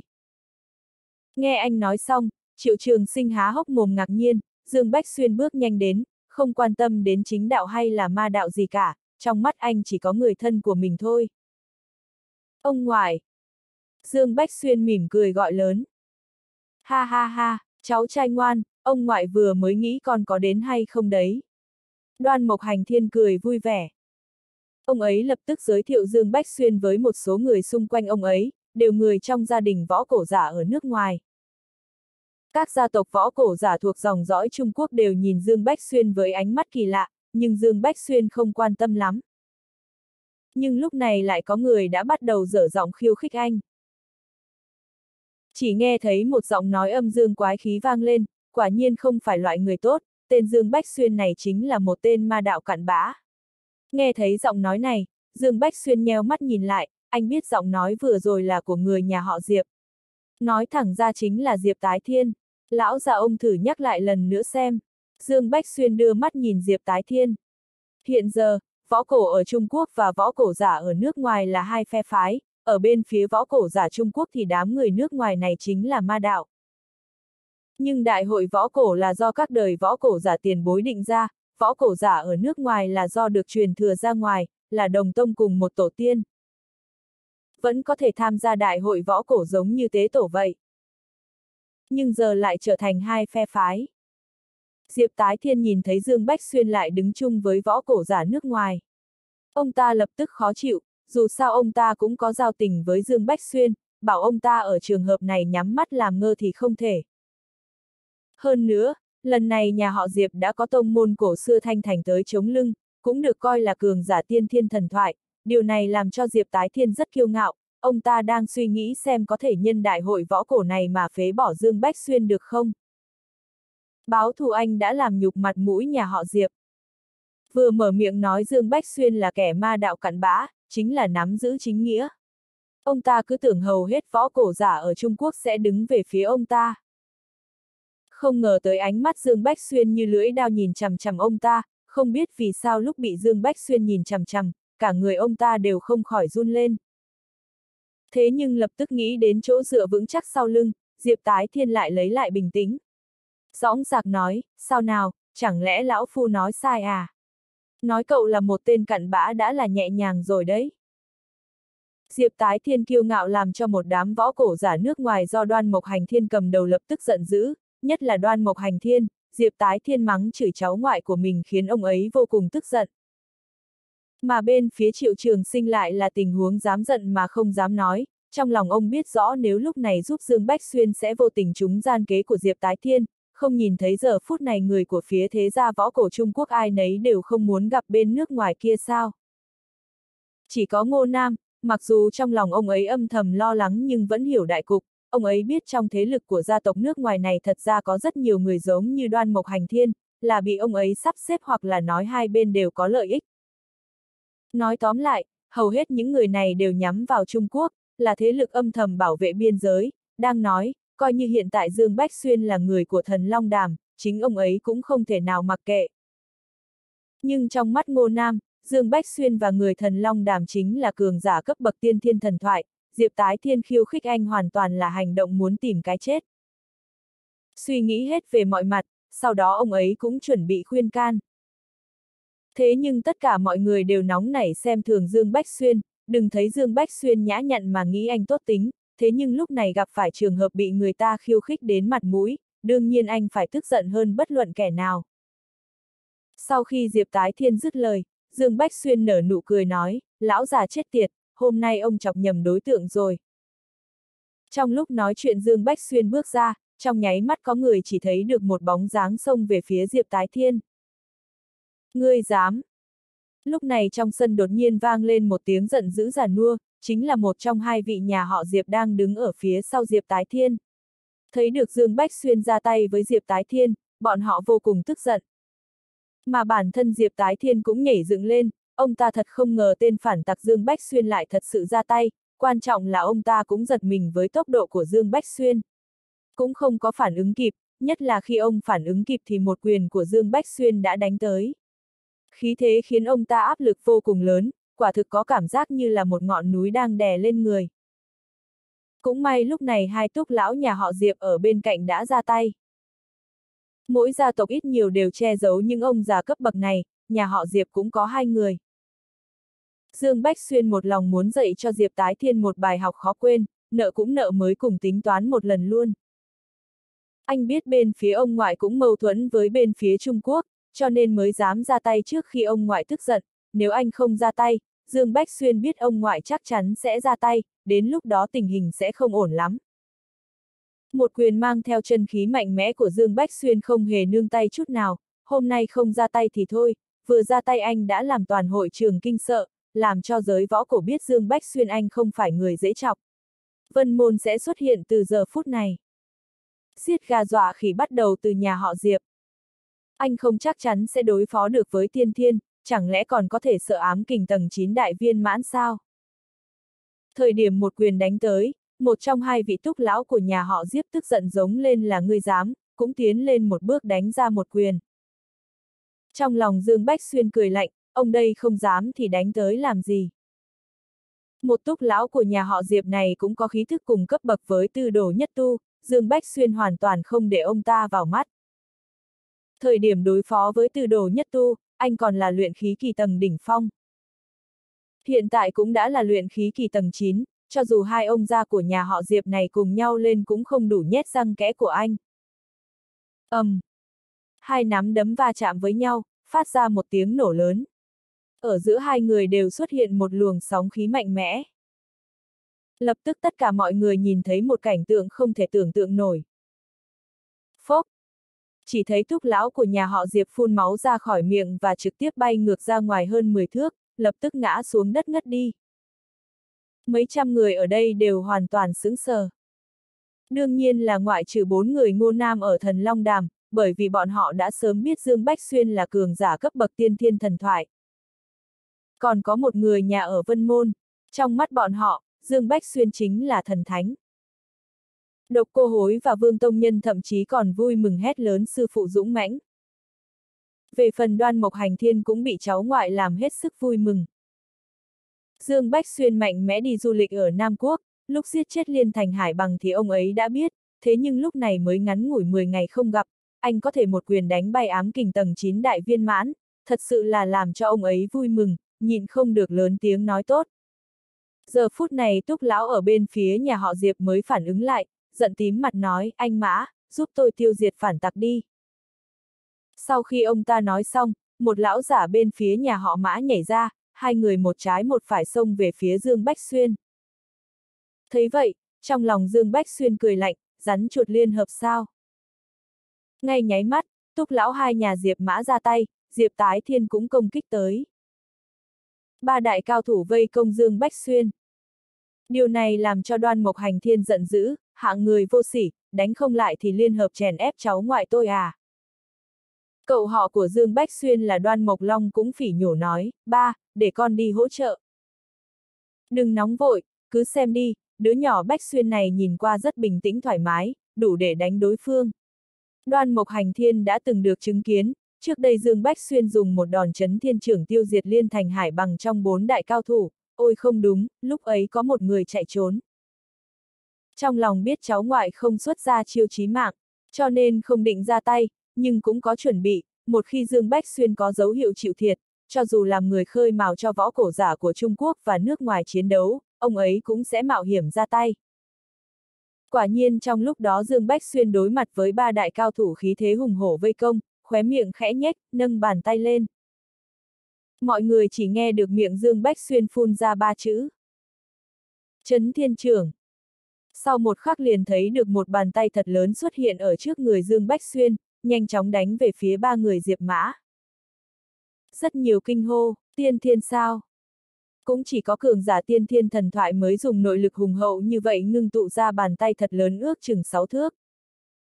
Lúc này, rất nhiều người đều bị giật mình.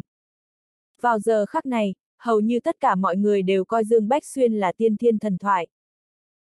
Mà túc lão hai nhà Diệp Mã và Diệp Tái Thiên đứng đầu trong đó đều vô cùng hoảng sợ. Một trưởng của Dương Bách Xuyên mang theo lực lượng cường đại làm cho bọn họ hô hấp cũng khó khăn. Giống như tất cả mọi người, vào giờ khác, ba người đều coi Dương Bách Xuyên trở thành cường giả cấp bậc tiên thiên thần thoại. Sức mạnh cấp bậc này đã vượt ra ngoài phạm vi của bọn họ, ám kình đại viên mãn thật sự không thể nào có sức mạnh cường đại như vậy. Trong nháy mắt bàn tay khổng lồ của Dương Bách Xuyên hình thành, ba người đã biết sắp xong đời rồi. Diệp tái thiên hoàng sợ hét lớn nguyên thần tiền bối cứu mạng. Dừng tay. Một giọng nói vang vang vọng khắp hội trường. Tất cả mọi người ngẩng đầu lên, từ đỉnh núi Thạch Bích thấy được một bóng người áo xanh rơi xuống. Giờ khắc này ánh mắt Dương Bách Xuyên cũng thấy được, thế nhưng trong lòng cũng đột nhiên nhảy dựng lên, trong đầu nghĩ đến hai chữ tiên thiên. Hiển nhiên, người Diệp Tái Thiên có thể cầu cứu nhất định là cường giả cấp bậc tiên thiên, hay là nói đây là chỗ dựa vững chắc sau lưng nhà họ Diệp. Người này nói một tiếng, dừng tay, đã vang vọng khắp hiện trường, trong giọng nói mang theo âm hưởng cường đại, hơn nữa ông ấy còn bay từ đỉnh núi xuống, ám kình tầng 9 đại viên mãn cũng bay không nổi như thế. Ông ta tất nhiên là cường giả cấp bậc tiên thiên. Hai chữ dừng tay này tràn ngập ý cảnh cáo. Dương Bách Xuyên biết mình đánh ra một trưởng này đã đắc tội một cường giả tiên thiên rồi. Nhưng hai nhà Diệp Mã là kẻ thù của riêng anh. Cho dù hôm nay buông tha, Chẳng lẽ mình có thể bấp chấp hiểm khích trước kia của họ, chính mình còn phải cảm ơn buông tha cho bọn họ sao? Rõ ràng là không thể. Nói đến cường giả tiên thiên, anh cũng không phải e ngại đến mức gọi ông nội. Cho nên một trưởng này, Dương Bách Xuyên cũng không dừng lại mà vẫn đánh tiếp. ầm ầm, phốc phốc phốc a.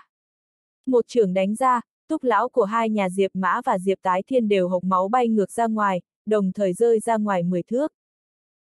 Sau đó, trong nháy mắt, ba người túc lão và Diệp Tái Thiên đã mất mạng. Chỉ có nhà họ Diệp miệng nôn ra máu, co giật trên mặt đất, mắt thấy cũng là bộ dáng sống không nổi. Một trưởng xem như trưởng chết ba đại cường giả. Lúc này, người mặc đồ xanh kia cũng bay xuống đất, nhìn Dương Bách Xuyên sắc mặt xanh mét nói, tiểu bối, cậu kiêu ngạo thật đấy. Người này chính là thế lực chống lưng cho nhà họ Diệp ở Thanh Thành Nguyên Thần Tử. Sau khi Nguyên Thần Tử hạ xuống đất, đôi mắt của ông ta nhìn chằm chằm vào Dương Bách Xuyên như một lưỡi dao sắc bén, dáng vẻ cầm phất trần một phát trưởng chết Dương Bách Xuyên. Ở trong mắt ông ta, một trưởng vừa rồi của Dương Bách Xuyên thật sự rất đáng kinh ngạc, chiêu thức này chỉ có những cường giả tiên thiên mới làm được, là kết quả của việc bộc phát chân nguyên. Nhưng Dương Bách Xuyên trong mắt ông ta không phải là tiên thiên, ông ta ngạc nhiên tại sao Dương Bách Xuyên lại làm được. Mặt khác, Nguyên thần tử cũng tức giận Dương Bách Xuyên giết người nhà họ Diệp, đây là đang giết chết người phát ngôn của bọn họ ở Thanh Thành mà, đánh ngay thẳng mặt. Đương nhiên thân là cường giả tiên thiên, ông ta không vội ra tay, bởi vì Dương Bách Xuyên có thể sử dụng chiêu thức bộc phát chân nguyên nhưng lại không phải là võ cổ giả tiên thiên. Chuyện này thật sự rất kỳ lạ, việc đầu tiên ông ta cần phải làm rõ là người thanh niên này là ai. Có phải là người của một tông môn cổ xưa nào không? Anh cũng không phải là hạng người lỗ mãng, nhưng một khi đã biết được thân phận rõ ràng thì khó có thể nói được. Chém giết người của nhà họ Diệp, trực tiếp đánh thẳng mặt Thanh Thành, hôm nay dù có thể nào ông ta cũng phải có được một lời giải thích. Mà nguyên thần tử trong mắt Dương Bách Xuyên thực ra là một đạo sĩ mặc áo choàng, trên tay là một cây phất trần, ba chùm dâu dê, hình như đã ngoài 40 tuổi, sắc mặt hồng hào. Nhưng ở trong mắt Dương Bách Xuyên chắc chắn không phải là tuổi của người này, bởi Dương Bách Xuyên không thể nhìn thấu ông ta, hơn nữa khí thức của ông ta còn yếu hơn cả tiểu tiên cá hạ lộ. Điều này cho thấy người này là một cường giả tiên thiên tầng 1. Hạ lộ có nói qua tiên thiên có 9 cấp, tiên thiên tầng 1 là tồn tại thấp nhất trong giới tiên thiên. Nhưng vào lúc này, ở trong mắt Dương Bách Xuyên, tên đạo sĩ này không đơn giản, có thể rõ ràng cảm giác được trên người ông ta toát ra một luồng khí tức cường hãn, hoặc có thể nói chân nguyên và chân khí của ông ta cùng cấp bậc với nhau. Đây là những gì mà Hạ Lộ đã nói với anh. Theo mức độ tu chân của bản thân, tiên thiên tương đương với trúc cơ kỳ. Bây giờ Dương Bách Xuyên chỉ còn cách một bước nữa là đến được trúc cơ kỳ, là luyện khí kỳ cấp 9, cần phải đột phá cấp 9 thì mới được lên trúc cơ kỳ. Đối mặt với điều này, tinh thần của anh đã được cải thiện thêm 12 điểm, nhưng anh không hề sợ hãi. Nghe nói những tu chân giả có ưu thế hơn so với những võ cổ giả, anh còn có tồn tại chân hỏa và linh thức, trong một cuộc chiến thực sự, anh nhất được không được thua. Dương Bách Xuyên nhìn ông ta, không hề có một chút nhượng bộ nào nói, ông là ai? Hừm, lão phu là nguyên thần tử của Thanh Thành, còn cậu có phải là truyền nhân của nhà đó không? Nguyên thần tử thử thăm dò. Dương Bách Xuyên chậm rãi nói, Dương Bách Xuyên của Vân Môn.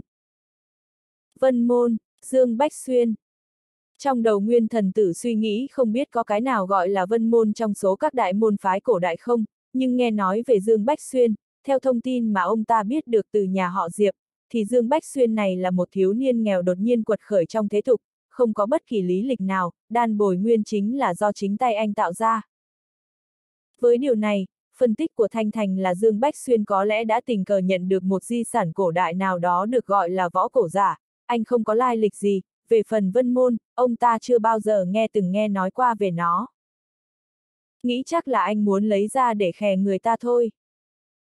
Nghĩ đến đây, Nguyên thần tử cảm thấy tự tin, nhìn Dương Bách Xuyên, híp mắt nói, nhà họ Diệp chính là đệ tử tục gia thanh thành của tôi. Nếu như giết người nhà họ Diệp, hôm nay lão phu dù có thể nào cũng phải tìm lại công lý. Sau khi nói đến đây, lão già nguyên thần tử kéo dài âm tiết ra, rồi lập tức đổi giọng, nhưng tôi nghe nói trong tay cậu có đan bồi nguyên của võ đan, nếu như cậu chịu nói ra sự thật, lão phu có thể khoan dung độ lượng, hơn nữa cho gia tộc của cậu làm người phát ngôn thế tục của Thanh Thành, để gia tộc của cậu có thể trở thành gia tộc đứng đầu Trung Quốc, được không?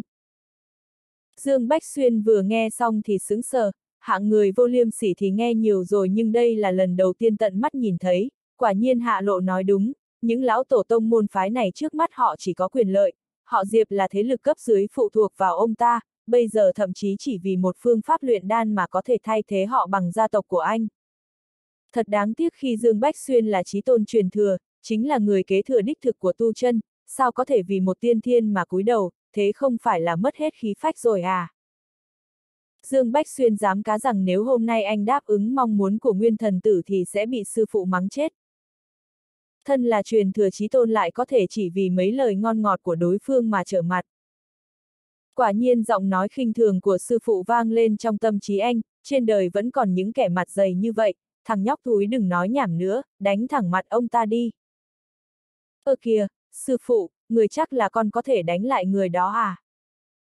Con làm sao vậy? Lão dê già này chỉ là tiên thiên tầng một đỉnh phong mà thôi, không phải tiên thiên tầng 2. Nhớ kỹ con là một tu chân giả, có thể dùng chân khí hóa hình trưởng. Chỉ với ba trưởng dù không thể tiêu diệt ông ta nhưng cũng không thua được đâu. Nghe sư phụ nói như vậy, trong lòng Dương Bách Xuyên cảm thấy tự tin, hiện tại anh đang ở luyện khí kỳ cấp 9, chân khí biến hỏa trưởng, chấn thiên trưởng và cuối cùng là khai thiên trưởng cũng đủ dùng rồi. Dùng để đối phó với tiên thiên tầng 1 thì sẽ không đến mức bị đánh bại. Nghĩ đến đây, Dương Bách Xuyên nhìn Nguyên Thần Tử cười lớn, xin lỗi, tôi là cao thủ môn phái của Vân Môn, tôi không quan tâm đến cái chức người phát ngôn của ông, nếu tôi muốn nói, tôi sẽ tự nói. Tôi không cần ông phải bố thí. Tôi cũng nói với ông là đan bồi nguyên trong tay của tôi là của riêng tôi, nó không liên quan gì với võ đăng cả, muốn báo thù cho nhà họ Diệp thì cứ việc, nói nhảm làm gì. Hôm nay nhất định không thể cúi đầu, anh liều chết lên giọng, thiên tiên cường giả, thần thoại trong mắt rất nhiều võ cổ giả, thử đấu một trận xem, anh cũng muốn xem giữa mình và tiên thiên khác nhau chỗ nào. Còn có sư phụ đứng sau thì anh càng không sợ thua. Lời nhận xét về Dương Bách Xuyên đã đánh lừa nguyên thần tử, ông ta không ngờ Dương Bách Xuyên lại ngông cuồng như vậy, chẳng khác nào làm trái ý trời. Nguyên thần tử nghiến răng, thằng nhóc không biết tốt xấu gì, hôm nay lão phu này sẽ dạy dỗ cậu thật tốt, để cậu biết rõ khoảng cách giữa thực lực tiên thiên và võ cổ giả ám kình đại viên mãn là gì. Sau khi nguyên thần tử dứt lời, ông ta đa đã khiến tất cả mọi người trong sân sợ hãi. Rất nhiều người chưa từng gặp qua nguyên thần tử, chứ đừng nói tới chuyện biết ông ta là một tiên thiên, nhưng những lời này tương đương với việc nói với mọi người rằng Nguyên Thần Tư là tiên thiên và Dương Bách Xuyên là một của ám kình đại viên mãn. Ông ngoại đoan Mộc Hành Thiên, Triệu Trường Sinh và những người thân cận khác đều lo lắng.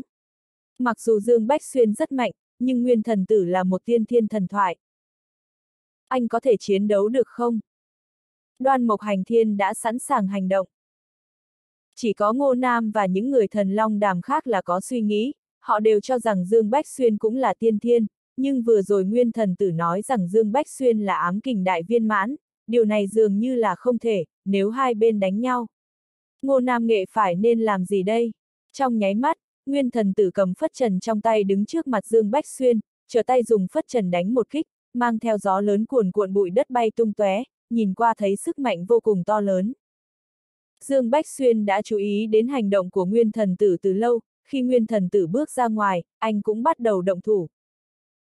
Cơ mà khi Nguyên Thần Tử dùng phất trần đánh một kích, trong nội tâm Dương Bách Xuyên có hơi run lên một chút.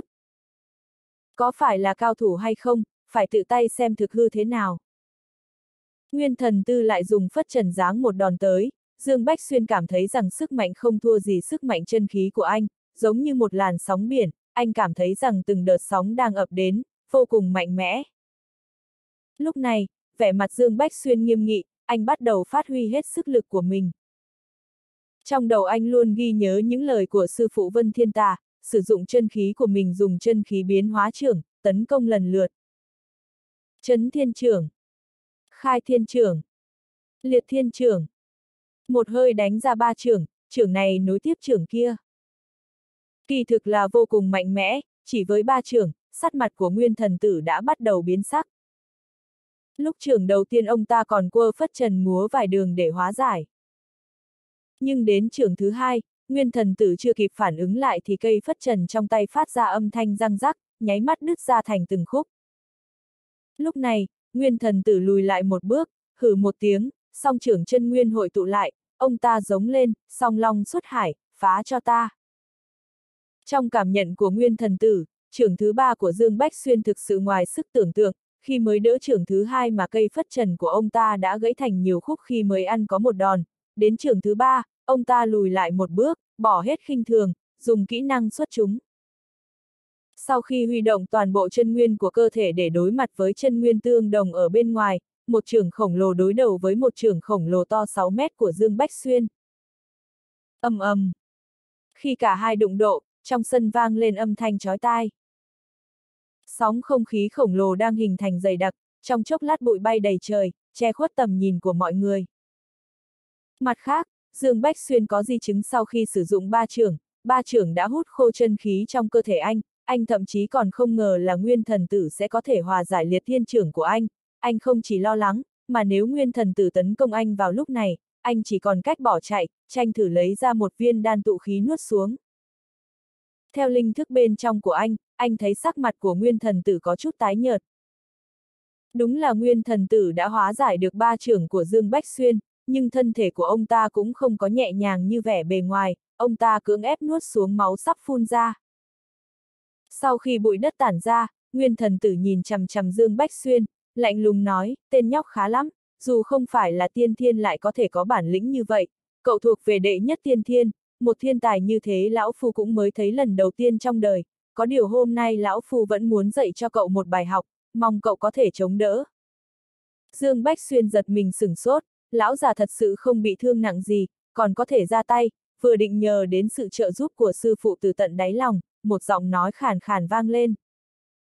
Có phải đã đến lúc nguyên thần tử nên dừng lại rồi không? Nghe thấy giọng nói này, sắc mặt nguyên thần tử cứng đờ. Mà Dương Bách Xuyên lại cười. Giọng nói giả cỗi này khàn khàn rất khó nghe, nhưng cũng chính nhờ đặc điểm sẵn có vậy, rất nhiều người đều ghi nhớ được. Dương Bách Xuyên nghe tiếng thôi đã biết là mỹ nhân ngư hạ lộ. Quả nhiên, khi ngẩng đầu nhìn lên, chẳng biết tự khi nào, người kia đã xuất hiện nơi giữa sân, chậm rãi đi tới. Bà ấy vẫn bọc thân mình cẩn thận, kín kẽ bằng một cái áo bào trắng, đến giọng cũng là biến âm. Rồi nguyên thần tử, nghe vậy cũng không thấy xa lạ gì. Đàm chủ thần bí của thần Long Đàm, mấy chục năm nay họ cũng từng giao thiệp nhiều lần, kia là cường giả tiên thiên tầng 2, là tầng sức mạnh ông ta hoàn toàn không dám động vào. Nếu hôm nay các sư huynh khác của Thanh Thành đến, nguyên thần tử sẽ dám thể hiện gì đó với đàm chủ thần Long Đàm. Tuy nhiên, hôm nay chỉ có mình ông ta, đối mặt với một cường giả tiên thiên tầng 2, ông ta chỉ có thể ngừng lại. Một tầng trong cấp thiên thiên chẳng khác gì cả thế giới, điều này nguyên thần tử hiểu rõ hơn bất kỳ ai khác. Tuy nhiên, bị đàm chủ thần Long đàm hù dọa chỉ bằng một tiếng nói, ông ta cảm thấy có phần bẽ mặt rồi. Nhìn người kia bọc một bộ áo trắng đi đến, ngoài miệng ông ta cứng rắn bảo, đàm chủ đại nhân, ý bà là sao? Hạ lộ mở miệng trả lời với giọng hơi khàn, không có gì hết, tôi chỉ muốn nói ông hay một tiếng, rằng Dương Bách Xuyên là thành viên thần long đàm bọn tôi. Bà ấy vừa nói những lời này, khóe miệng nguyên thần tử lập tức kéo căng ra, không kìm được mà lòng muốn chửi mẹ kiếp. Nhưng ông ta thật sự không dám. Sau một hồi im lặng, nguyên thần tử nói tiếp, coi như cậu ta là người của thần long đàm đi, thì cũng phải phân rõ phải trái chứ. Dương Bách Xuyên giết người của nhà họ Diệp, đó là gia tộc phụ thuộc còn sót lại của Thanh Thành chúng tôi, dù gì chúng tôi cũng phải đòi được một câu trả lời thích đáng chứ. Chỉ là một kẻ đại diện một gia tộc thôi, muốn giết thì giết. Chính nhà họ Diệp đã khiêu khích Dương Bách Xuyên trước, với tôi thấy Thanh Thành các ông tìm một người khác là được thôi mà. Những thế gia trong giới võ cổ Trung Quốc vẫn còn nhiều, không phải sao? Hạ lộ từ tốn nói với âm thanh khàn khàn. Nguyên thần tử nghe thì thấy quá bịp bợm, cuối cùng không kìm được mà giận dữ hết, đàm chủ hạ, lẽ nào bà tưởng thanh thành chúng tôi dễ ăn hiếp à? Tôi không hề nói như thế, tôi chỉ thấy nguyên thân tử ông đấy, đường đường là một tôn sư tiên thiên, mà lại đi đánh với một người không phải tiên thiên. Dựa theo quy tắc của giới võ cổ, hôm nay tôi có giết ông thì thanh thành cũng phải chịu. Hạ lộ thể hiện sự cứng rắn trong câu nói cuối cùng. Bà, Khuôn mặt nguyên thần tử đỏ bừng, hệt như sắp nổ tung vậy, nhưng cuối cùng ông ta vẫn nhịn được. Ông ta nhớ với thủ đoạn của vị đàm chủ thần long đàm thần bí này, thì dù là ở trong mấy chục năm quá khứ, bình thường các tông môn võ cổ lớn đối mặt với bà ta dường như cũng không thắng thế được. Tin đồn nói bà ta có một món thần binh, dù là đối đầu với cường giả tiên thiên tầng 3 cũng không nao núng. Vậy nên nguyên thần tử chỉ có thể nhịn xuống. Mà Dương Bách Xuyên cũng đã thấy được một bộ mặt khác của hạ lộ, một mặt bá đạo, phách lối mười phần, hoặc phải nói là mặt thể hiện chính bản chất của bà ấy. Bất kể là giới võ cổ hay giới tu chân, Dương Bách Xuyên biết thực lực càng cường đại thì càng đơn giản, dứt khoát. Lời quả đấm lớn nói ra vẫn là đạo lý. Không phục thì đánh đến khi người chịu phục thôi. Thái độ của hạ lộ lúc này chính là như vậy. Nhìn khuôn mặt xanh mét của nguyên thần tử đã đủ biết. Ngay lúc nguyên thần tử đang lúng túng không thôi, một tiếng cười sang sảng truyền từ nơi chân trời tới. Ha ha ha, đàm chủ hạ, nguyên thần đạo huynh, hai vị xin bất giận, cớ gì phải tổn thương hòa khí. Lập tức lại có tiếng phụ họa, không sai, hai vị chớ nổi giận, trong đại hội võ cổ hôm nay có chuyện gì đợi đại hội hãng nói cũng không muộn. Nghe thấy hai lời như vậy, hầu như tất cả mọi người đều ngẩng đầu nhìn lại, chỉ thấy hai bóng người bay từ đỉnh thạch bích tới, một trước một sau. Không ngờ lại là hai huyền thoại tiên thiên lớn. Chẳng mấy chốc, giữa sân đã xuất hiện hai ông lão, một người mặc đạo bào tím đậm, người kia lại một thân đạo bào trắng. Hai người đều có đeo cổ kiếm. Trong cảm giác của Dương Bách Xuyên, dường như hơi thở tỏa ra từ người ông lão mặc đạo bào tím không chênh lệch với hạ lộ bao nhiêu, hẳn là cường giả tiên thiên tầng 2. Hơi thở của ông lão mặc đạo bào trắng thì tương đương với nguyên thần tử. Sau khi hai người này xuất hiện, cả hạ lộ và nguyên thần tử đều cùng chào hỏi. Xin ra mắt đạo trưởng Trường Linh, đạo trưởng Bách Sơn. Đàm chủ hạ có lễ. Hai người cùng chào hỏi hạ lộ.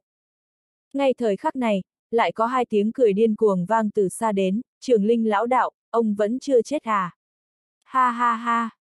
Từ phía xa, hai ông lão mặc trang phục thời đường đi tới, dáng như tuổi trừng lục tuần. Người đi trước đầu điểm đầy tóc bạc, trong tay cầm vuốt một vòng trâu màu đỏ máu, tỏa sáng lấp lánh, vừa nhìn đã thấy vô cùng xa xỉ. Nụ cười trên mặt khiến ông ta tạo cảm giác như Phật Di Lặc vậy. Đây chính là người vừa lên tiếng. Chỉ có người còn lại thì cầm một cây gậy trống đen ngòm, biểu cảm trên mặt không hề thay đổi, theo từng bước đi mà gậy trống trong tay sẽ phát ra từng tiếng cộp, cộp khiến lòng người thấy run rẩy, cứ như nó chạm được vào ruột gan vậy.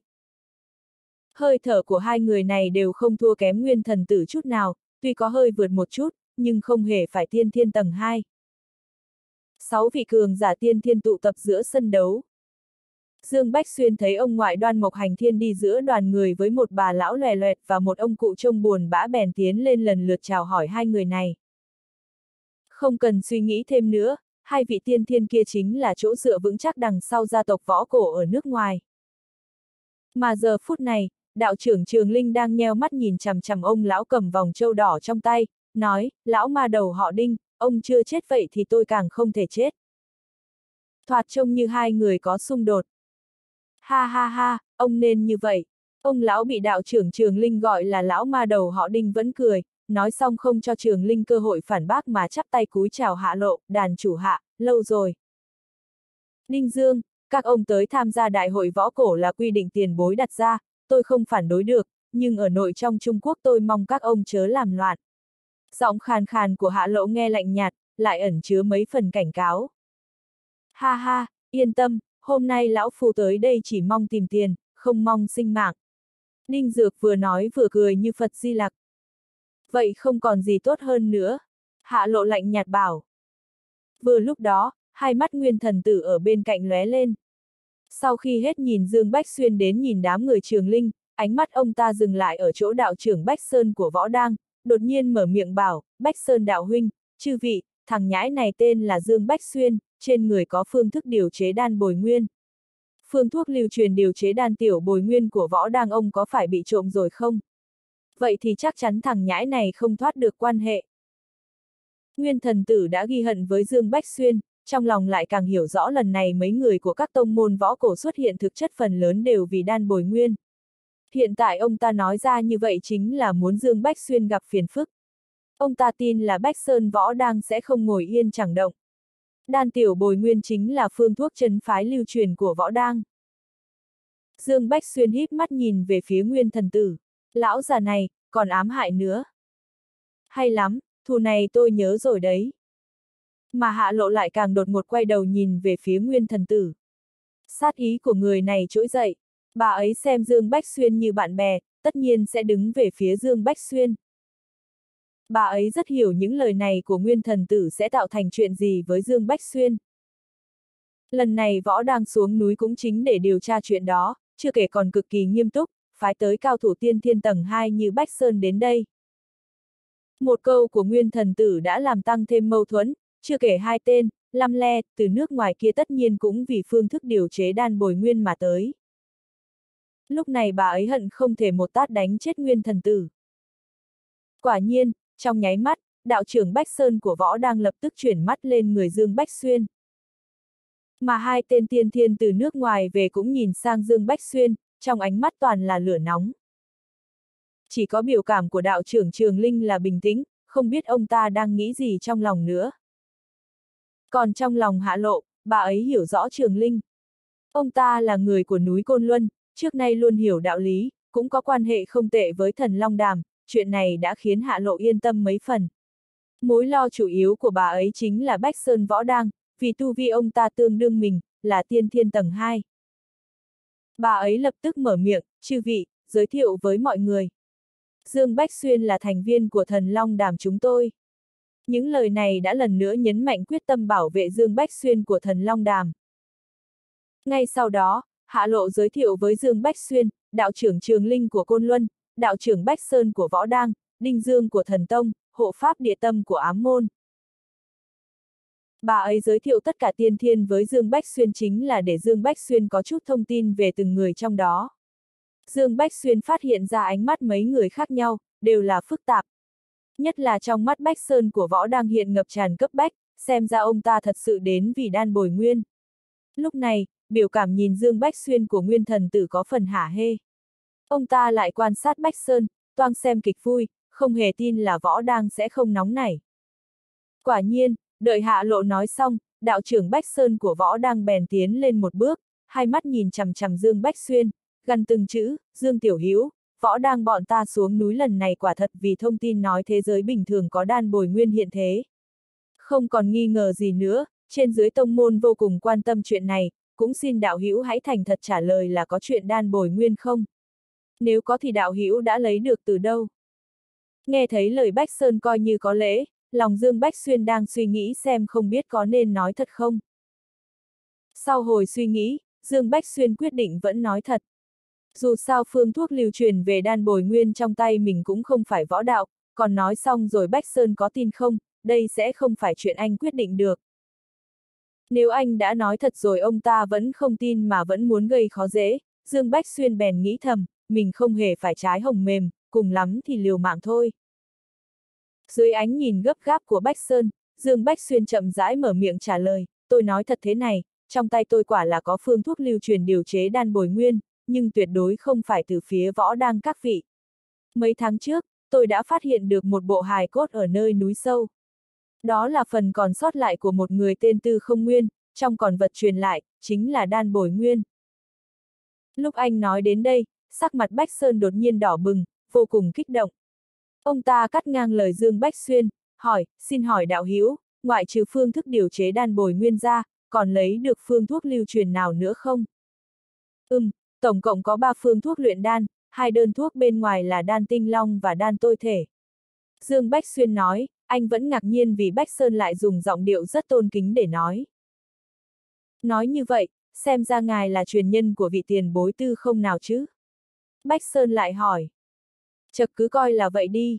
Dương Bách Xuyên ngẫm lại, anh truyền thừa phương thuốc của tư không nguyên, nhất là còn tu luyện công pháp kinh nguyên thần, tu luyện linh thức của tư không nguyên cũng coi như là truyền nhân của hắn. Sau khi nhận được câu trả lời của Dương Bách Xuyên, trong mắt mọi người, toàn thân Bách Sơn đều run rẩy, vẻ mặt ửng hồng. Hắn ta lập tức lui về phía sau, đột nhiên quỳ xuống trước mặt Dương Bách Xuyên, lớn tiếng nói, đệ tử đời thứ 12 của võ đang là Bách Sơn xin bái kiến sư tổ. Giờ khắc này, toàn hội trường xôn xao. Nhất là nguyên thần tử càng mở to hai mắt, tuyệt đối không ngờ một cường giả tiên thiên tầng 2 như Bách Sơn lại có thể bái lại một tên phản tặc như Dương Bách Xuyên. Quan trọng hơn là Bách Sơn lại gọi Dương Bách Xuyên là sư tổ. Chuyện gì đang xảy ra vậy? Không chỉ riêng nguyên thần tử ngây ngốc, tất cả mọi người ở đây đều mơ hồ. Kể cả Dương Bách Xuyên bày ra vẻ mặt kinh ngạc nhìn Bách Sơn. Nhưng sau một khắc, trong đầu Dương Bách Xuyên đột nhiên xẹt qua một tia chớp. Anh đột nhiên nhớ tới, trong tin tức tư không nguyên lưu lại, ông ta ở Trung Quốc mấy trăm năm, há có thể không lưu lại truyền thừa ở vùng đất Trung Quốc này chứ? Mà đan tiểu bồi nguyên của võ đang và đan bồi nguyên mình lấy được từ trong tay tư không nguyên, vẻn vẹn chỉ kém một chữ, chỉ có thêm một chữ đan tiểu bồi nguyên. Chẳng lẽ nói, võ đang truyền thừa hay là nói đan tiểu bồi nguyên chính là tư không nguyên lưu lại? Ông ta từng lưu lại truyền thừa cho võ đang, hay là thay võ đang nhận đệ tử? Càng nghĩ càng có khả năng này, nếu không Bách Sơn sao có thể xưng mình là sư tổ. Anh không khỏi nói, chật, Bách Sơn tiền bối, ngài. Lời còn chưa dứt, Bách Sơn kích động cắt ngang nói, sư tổ gọi tên tôi là được rồi, đừng xưng hô tiền bối, tổn thọ Bách Sơn mất. Bách Sơn vô cùng kích động, nói xong, hắn ta dừng một chút tiếp tục nói, sư tổ có điều không biết, trưởng giáo đời thứ nhất của võ đạo tôi chính là đệ tử ghi danh của tổ sư tư không nguyên tổ sư. Mấy trăm năm trước, trưởng giáo chân nhân gặp được tổ sư tư không, sau đó xưng là đệ tử ký danh sáng lập võ đang, trưởng giáo được tổ sư tư không nguyên chỉ điểm bước vào võ đạo, đan bồi nguyên, đan tinh long và đan tôi thể đều là tổ sư truyền thụ, đáng tiếc đan bồi nguyên mà tôi có thể luyện chế dẫu sao cũng không thể luyện ra đan tinh túy, cho nên gọi là đan tiểu bồi nguyên. Nếu ngài là truyền nhân của tổ sư tư không, vậy chính là cùng một đời của trưởng giáo võ Đang. Bách Sơn đương nhiên nên bái ngài làm sư tổ. Bách Sơn đứt quãng nói xong quan hệ giữa võ Đang và tư không nguyên, Dương Bách Xuyên chợt hiểu ra. Dựa theo lời nói của Bách Sơn, mấy trăm năm trước, trưởng giáo của võ đăng đã gặp tư không nguyên, cũng có thể chỉ truyền thụ một vài võ công truyền thừa và ba đan dược, cũng không có truyền thừa phương pháp tu chân. Nhưng cho dù như thế, võ đăng vẫn được gọi là một đại tông môn của giới võ cổ, mặc dù chỉ là đệ tử ghi danh, nhưng cũng đích thật được xem như đệ tử của tư không nguyên. Cứ như vậy truyền nhân đời sau của tư không nguyên như mình thật đúng là cùng thế hệ với trưởng giáo võ đăng, Bách Sơn gọi mình là sư tổ cũng phải. Sau đó, Dương Bách Xuyên nhìn sắc mặt nguyên thần tử xanh mét ở một bên muốn kêu trời, tôi nhìn xem lão già như ông còn hống hách được không? Trước tiên, trong sáu đại tiên thiên ở đây có hai người là tiên thiên tầng 2 đều là bạn bè của Dương Bách Xuyên tôi, mẹ nó, ông có năng lực thì cứ hống hách trước mặt tôi đi. Ngay khi trong lòng Dương Bách Xuyên ảo tưởng ngất trời, Bách Sơn lại mở miệng nói, sư tổ, dựa theo lời ngài nói thì tổ sư tư không nguyên đã tọa hóa, không biết thánh địa tiên thế của ngài ấy ở đâu. Quay về tôi muốn để trên dưới võ đang đến tế bái tổ sư. Dương Bách Xuyên bị Bách Sơn cắt đứt ảo tưởng, lúc này mới phát hiện Bách Sơn còn quỳ trên mặt đất, sau khi phản ứng lại vội vàng đỡ hắn ta dậy nói cái kia.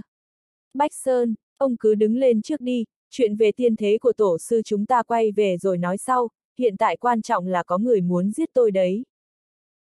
Vừa nói, Dương Bách Xuyên vừa đỡ Bách Sơn đứng dậy, nhìn về phía nguyên thần tử đang ở một bên.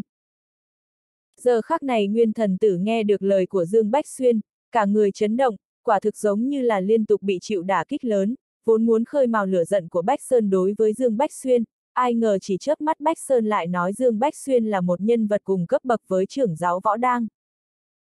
Bây giờ còn nói thêm một câu với Bách Sơn là cao thủ tiên thiên tầng 2 này, có người muốn giết tôi. Mẹ nó, câu này rõ ràng là đang nhằm vào mình, nguyên thần tử đứng đó run rẩy. Ông ta chỉ sợ Bách Sơn nổi cơn tức giận, thực lực của tiên thiên tầng 1 và tầng 2 chênh lệch rất nhiều đó, hôm nay Thanh Thành chỉ có một mình ông ta, cũng không có đồng minh, điều này làm cho ông ta rất xấu hổ. Sợ cái gì thì cái đó đến, sau khi Bách Sơn được Dương Bách Xuyên đỡ dậy, khí thức toàn thân lập tức phát tác, đột nhiên quay đầu nhìn về phía Nguyên Thần Tử trầm giọng nói, Nguyên Thần Tử, ông muốn giết sư tổ của tôi sao? Bách Sơn tức giận nhìn Nguyên Thần Tử, vừa nói một câu đã chuẩn bị tư thế ra tay. Mà trong lòng Nguyên Thần Tử tức giận, tôi giết cái đầu nhà ông đấy, hôm nay tôi dám giết sao? Tình hình phe địch mạnh hơn, mình phải nhẫn nhịn, trong lòng nguyên thần tử lẩm bẩm, trên mặt nặn ra một nụ cười và nói, anh Bách Sơn, tất cả đều là hiểu lầm thôi, tôi chỉ nói đùa với Dương. Tiên sinh thôi, người nhà họ Diệp gieo gió gặt bão, không trách Dương tiên sinh, hiểu lầm hiểu lầm thôi. Đây không phải là hiểu lầm nha. Trước đó ông còn nói nếu tôi giao ra phương thuốc của đan bồi nguyên mới chịu bỏ qua cho tôi mà, nếu ra không giao ra chính là muốn dạy dỗ tôi còn gì. Dương Bách Xuyên xấu xa nhìn nguyên thần tử, nói mấy câu thêm dầu vào lửa. Sau khi nói xong còn nghiêm túc nhìn Bách Sơn, nói, sư chất Bách Sơn, nguyên thần tử muốn phương thuốc của đan bồi nguyên, ông nói xem tôi có nên giao ra để đảm bảo an toàn đi khỏi không? Sư tổ, tuyệt đối không thể, phương thuốc truyền thừa chính là nền tảng của sư môn, không thể giao ra được. Vẻ mặt Bách Sơn bị dọa sợ, ánh mắt lập tức u ám nhìn chằm chằm nguyên thần tử, sau đó nhìn xung quanh nói, hôm nay ai dám làm khó sư tổ tôi, đòi phương thuộc thì chính là đắc tội với Bách Sơn tôi, cũng là kẻ thù của võ đang. Dưới sự cường thế của Bách Sơn, nguyên thần tử cúi đầu, hai tay siết chặt, hận không thể sống chết với Dương Bách Xuyên, hôm nay mặt mũi bị tên nhóc này trà đạp sạch rồi. Nhưng ông ta cũng không còn cách nào, nếu như chỉ có một tiên thiên tầng 2 như Bách Sơn, hôm nay cho dù ông ta có liều mạng chấn thương nặng cũng phải lý luận tới cùng, quan trọng là bên cạnh Dương Bách Xuyên còn có một tiên thiên tầng 2 khác là đàm chủ của thần Long Đàm, hai đại tiên thiên mà ông ta không thể trêu vào. Đối mặt với sự uy hiếp trần trụi của Bách Sơn, nguyên thần tử thật sự không dám cãi lại. Lúc này, đạo trưởng Trường Linh đi ra hòa giải nói, đàn anh Bách Sơn, vị Dương.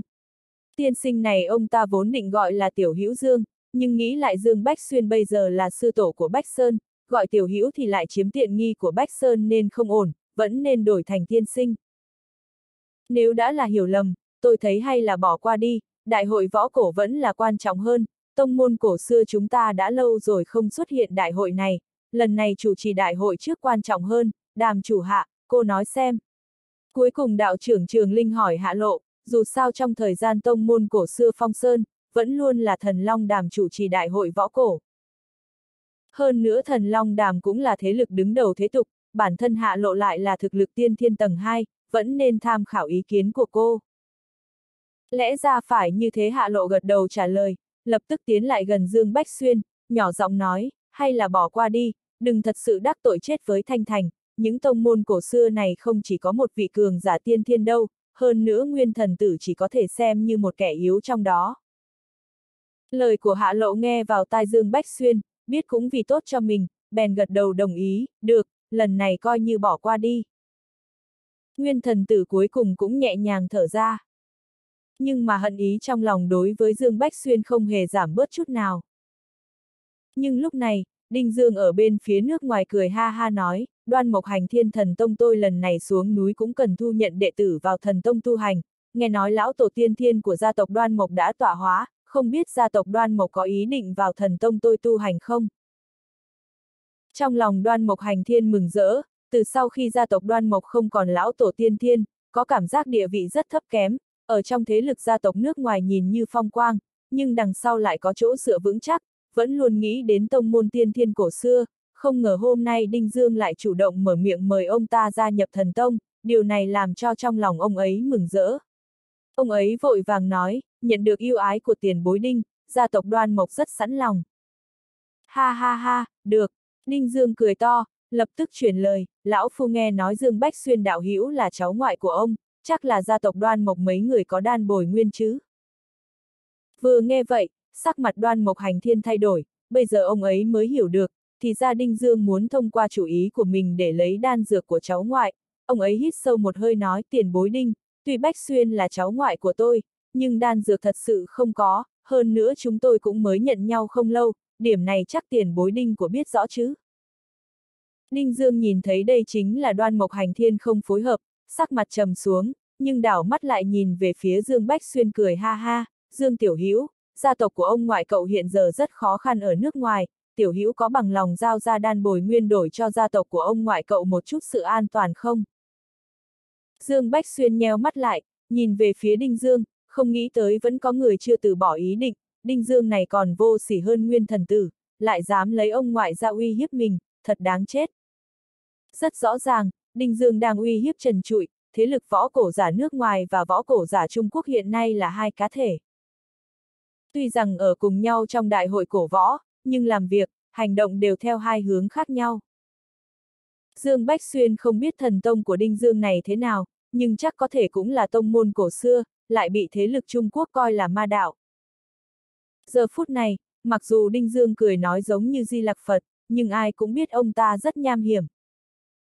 Nguyên thần tử ở một bên thấy vậy, trong lòng vui vẻ nở hoa, có người tìm Dương Bách Xuyên gây phiến phức, ông ta rất vui mừng. Chỉ có ánh mắt Bách Sơn chừng mắt nói, lão ma đinh, ông muốn gây chuyện.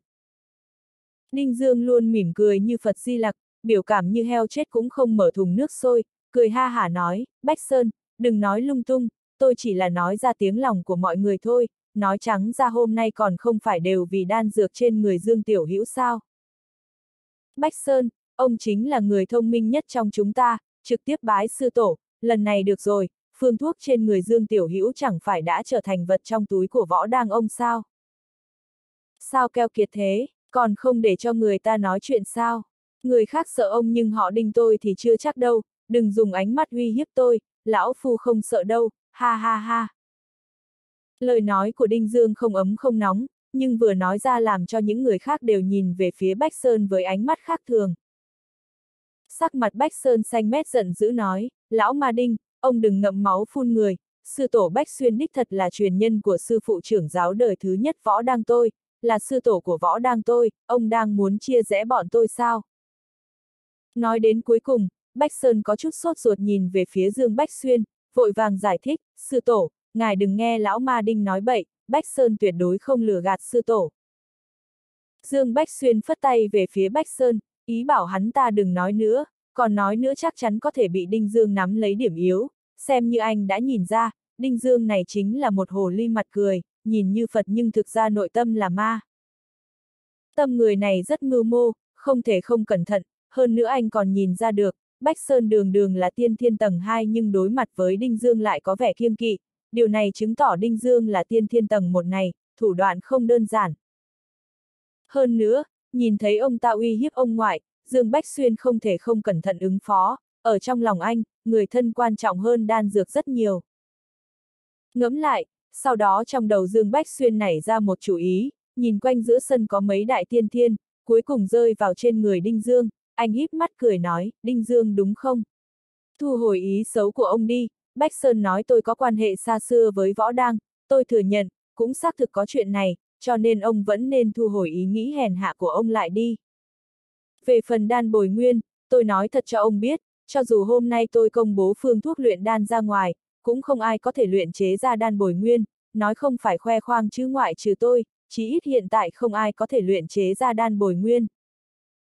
Tôi cũng biết những người ở tông môn cổ xưa này xuống núi đến đây ít nhiều là vì đan bồi nguyên trên người tôi. Nói đến đây Dương Bách Xuyên dừng lại một chút, sau đó nói, được, tôi thành toàn cho mọi người, hôm nay trên người tôi có 12 viên đan bồi nguyên, đều có thể lấy ra, nhưng mà, sẽ không thể cho không mấy người, phải lấy thiên tài địa bảo đến đổi.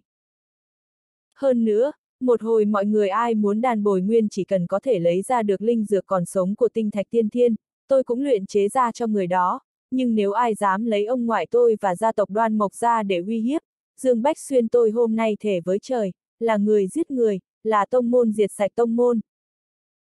Trải qua suy nghĩ kỹ càng, Dương Bách Xuyên vẫn quyết định phơi bày chuyện này ra ngoài ánh sáng, chỉ như vậy mới có thể đàn áp rất nhiều ý nghĩ xấu xa của những người ở đây, hơn nữa còn có thể làm cho mình sống được tốt hơn, dù sao cũng chỉ là luyện đan mà thôi, chỉ cần có linh dược thì anh tiện tay là có thể luyện chế ra đan bồi nguyên rồi. Cũng có thể dập tắt sự uy hiếp của lão ma đầu đinh dương đối ông ngoại, cũng có thể cho mình bớt đi không ít phiền phức. Khi Dương Bách Xuyên trong lúc nói chuyện nhìn chằm chằm Đinh Dương, trong lòng Đinh Dương chấn động, nhất là lúc Dương Bách Xuyên nói ai dám uy hiếp ông ngoại của anh, lời thề và ánh mắt đều thể hiện rõ sự quyết tâm làm cho Đinh Dương hơi e dè. Đích thật là ông ta muốn lấy gia tộc đoan mộc ra để uy hiếp Dương Bách Xuyên, cũng muốn chia rẽ mối quan hệ giữa Võ Đăng và Dương Bách Xuyên, sau đó đục nước béo cò.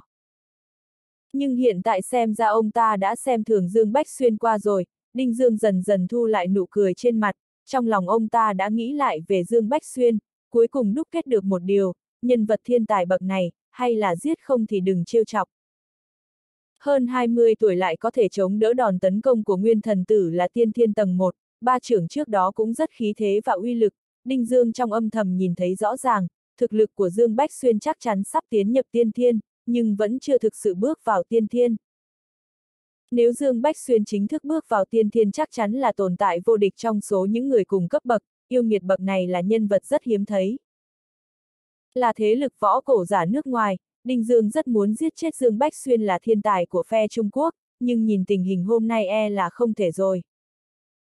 Hay là trước tiên cứ chiếm được lợi ích đã, chờ sau khi trở về triệu tập đám lão quỷ kia rồi cùng nhau bàn bạc vậy.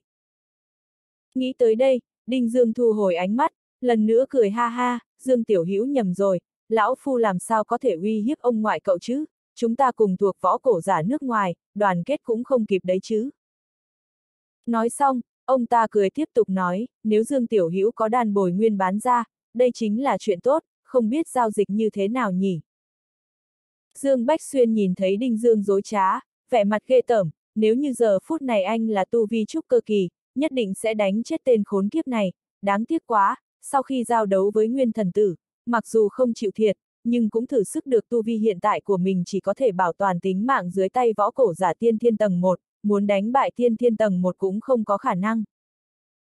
Sau khi Đinh Dương hỏi cách giao dịch đan bồi nguyên, Dương Bách Xuyên thật sự không biết trả lời thế nào, bởi vì anh hoàn toàn chưa từng làm qua loại chuyện này, cũng không thể nói dùng tiền tài giao dịch được.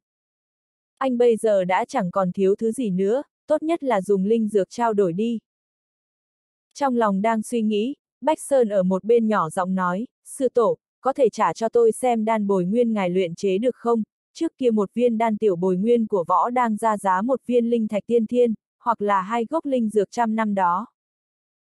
Mặc dù Bách Sơn không cam lòng để sư tổ dùng đan bồi nguyên giao dịch cho các thế lực khác, nhưng cũng không có biện pháp. Thứ nhất Dương Bách Xuyên hiện tại thật sự là sư tổ của võ đang, mà đan bồi nguyên cũng không phải của võ đang mà là người ta tự mình luyện chế, hắn ta không thể can thiệp, chỉ là nhìn ra trong lòng Dương Bách Xuyên không có ý muốn giao dịch nên đưa ra một đề nghị.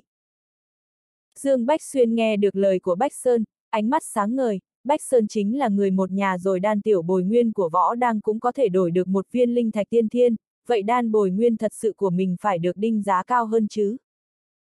Tay đặt trong túi, anh trở tay lấy một bình chứa ba viên đan bồi nguyên ra và đưa qua cho Bách Sơn xem xét. Sau khi Bách Sơn mở bình ra nhìn một viên đan dược, lập tức mở to hai mắt, kích động nói, đan bồi nguyên thật sự trong điển tịch sư tổ chính là như thế, đan này giống y như phẩm cấp mà năm đó sư tổ tư không tổ sư ban cho trưởng giáo chân nhân, giá ít nhất cũng nên tăng gấp đôi đi. Một luồng hương khí của đan dược lan tỏa khắp nơi đây, ở đây phần lớn đều là cao thủ tiên thiên, ai cũng biết nhìn hàng, đương nhiên biết rõ đan bồi nguyên của Dương Bách Xuyên là hàng tốt, ánh mắt tất cả mọi người đều sáng lên. Được, một viên đan bồi nguyên đổi lấy hai viên linh thạch tiên thiên, hai gốc linh dược ít nhất 200 năm tuổi, ai muốn đổi thì nhanh tay, tổng cộng có 12 viên, hiện tại còn lại 9 viên, sẽ trao đổi với tất cả mọi người trong gia tộc võ cổ. Sau khi nói xong, Dương Bách Xuyên vung tay lên, trực tiếp nói với Bách Sơn, ba viên này sẽ cho ông. A Bách Sơn sửng sốt, sau đó mừng rỡ, vội vàng nói cảm ơn, cảm ơn sư tổ tặng đan, cảm ơn sư tổ tặng đan. Trong lòng Bách Sơn vui mừng, trong điển tịch ghi lại đan bồi nguyên thật sự chứa sức sống mãnh liệt, là thánh dược trị thương, hơn nữa có thể cải thiện thể chất, có thể làm cho tu vi bình cảnh buông lòng, khó có thể trách. Trong mảnh sân thật lớn, ngoài trừ hạ lộ ra thì mấy người khác đều nháo nhào vây quanh Dương Bách Xuyên, một đám yêu cầu đổi đan bồi nguyên.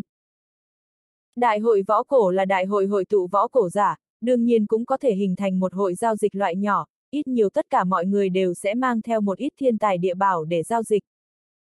Trong nháy mắt, Dương Bách Xuyên mở to trong mắt, anh không nghĩ tới những lão quỷ này đều là thổ hào.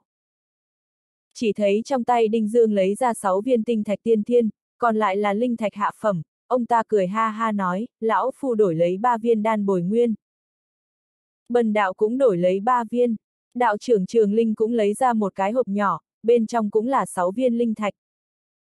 Lão phu đổi lấy hai viên, lão tổ địa tâm nước ngoài trầm giọng nói, trong lòng bàn tay có bốn viên linh thạch. Lúc này nguyên thần tử nóng nảy, Dương Bách Xuyên vừa nói tổng cộng có 12 viên đan bồi nguyên, vừa mới cho Bách Sơn 3 viên thì còn lại 9 viên, Đinh Dương và Trường Linh mỗi người đổi lấy 3 viên, chính là 6 viên, lão tổ địa tâm đổi lấy 2 viên, chỉ còn lại một viên.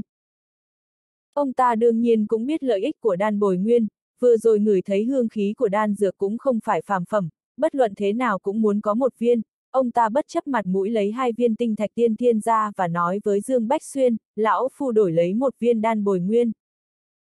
Lúc này Dương Bách Xuyên cười ha ha, nhìn nguyên thần tử nói, thật ngại quá, không có. Không phải còn có viên cuối cùng sao? Nguyên thần tử lớn tiếng nói. Viên cuối cùng để lại cho ông ngoại tôi, đan dược của tôi, tôi làm chủ, không muốn bán ra, muốn có thì ông có thể đổi lấy từ trong tay Đinh Dương hoặc Trường Linh, bọn họ mỗi người đều có ba viên mà. Trong lòng Dương Bách Xuyên cũng hả hê, nguyên thần tử ông muốn chơi tôi, ông đây sẽ cho ông tức chết. Cậu, cố ý không cho lão phu. Nguyên thần tử nhìn Dương Bách Xuyên tức giận đến sắc mặt tái xanh. Chính ông đã chậm một bước, sao có thể trách tôi chứ? Dương Bách Xuyên thản nhiên nói.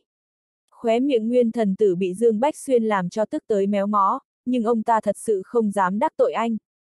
Thứ nhất là phải chấp nhận tình hình thực tế, thứ hai là thằng nhóc này nói sau này có thể luyện đan, không được dùng sức mạnh với anh.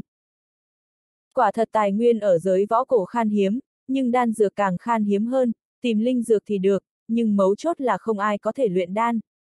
Vì vậy nhân duyên của võ đang ở tông môn cổ xưa luôn rất tốt chính là vì võ đang có đan dược đan phương, hơn hết là có luyện đan sư. Mà bây giờ đột nhiên giới thế tục xuất hiện thằng nhóc Dương Bách Xuyên, chẳng những có thể luyện đan mà còn luyện ra được đan dược có phẩm cấp còn tốt hơn võ đang, người bậc này trung quy mai sau sẽ trở thành khách quý của tất cả thế lực lớn. Bây giờ nguyên thần tử đã hơi hối hận vì đắc tội Dương Bách Xuyên. Ông ta quay đầu nhìn về phía đạo trưởng Trường Linh của Côn Luân, nghĩ rằng đạo trưởng Trường Linh có thể nhượng lại cho ông ta một viên hay không. Ai ngờ Trường Linh lão đạo lại quay đầu nhìn trời, hiển nhiên là không muốn bán. Mà giờ phút này, Đinh lão ma ở bên cạnh cười ha ha nói, bốn viên tinh thạch thiên tiên của nguyên thần lão đạo, lão phu có thể nhượng lại một viên đan bồi nguyên cho ông. Sao ông không đi cướp luôn đi, lão phu từ bỏ. Nguyên thần tử suýt chút nữa bị tức chết. Nguyên thần tử lập tức nhìn chằm chằm vào Dương Bách Xuyên u ám nói, Dương, cậu Dương chẳng phải nói có thể luyện chế giúp hay sao? Cần điều kiện gì cứ việc nói, thanh thành tôi nhờ cậu luyện chế một mẻ đan dược cũng được chứ. Dương Bách Xuyên nghe vậy lập tức vui vẻ, chuyện này thì được, tuy rằng anh rất bực nguyên thần tử nhưng không thể bỏ qua cơ hội phát tài. Anh nhìn nguyên thần tử nói, tất nhiên là được, chỉ cần các ông có thể cung cấp linh dược, luyện chế không thành vấn đề. Một lò sáu viên đan bồi nguyên, về phần tiền công cho tôi thì rẻ một chút năm viên tinh thạch tiên thiên đi. Nguyên thần tử hỏi, cần linh dược gì, số lượng bao nhiêu? Cần 36 loại linh dược, nhưng phải có hai phần. Dương Bách Xuyên cười tủm tỉm nói câu này rồi lấy danh sách trước kia đưa cho Ngô Nam ra, thật ra bên trên có hơn 40 loại linh dược, nhưng anh nói với Nguyên Thần Tử, chỉ cần tìm đủ 36 loại linh dược trong này là được, hai phần. Nguyên Thần Tử nhìn danh sách, mở miệng phản bác, luyện một mẻ mà cần tới hai phần à.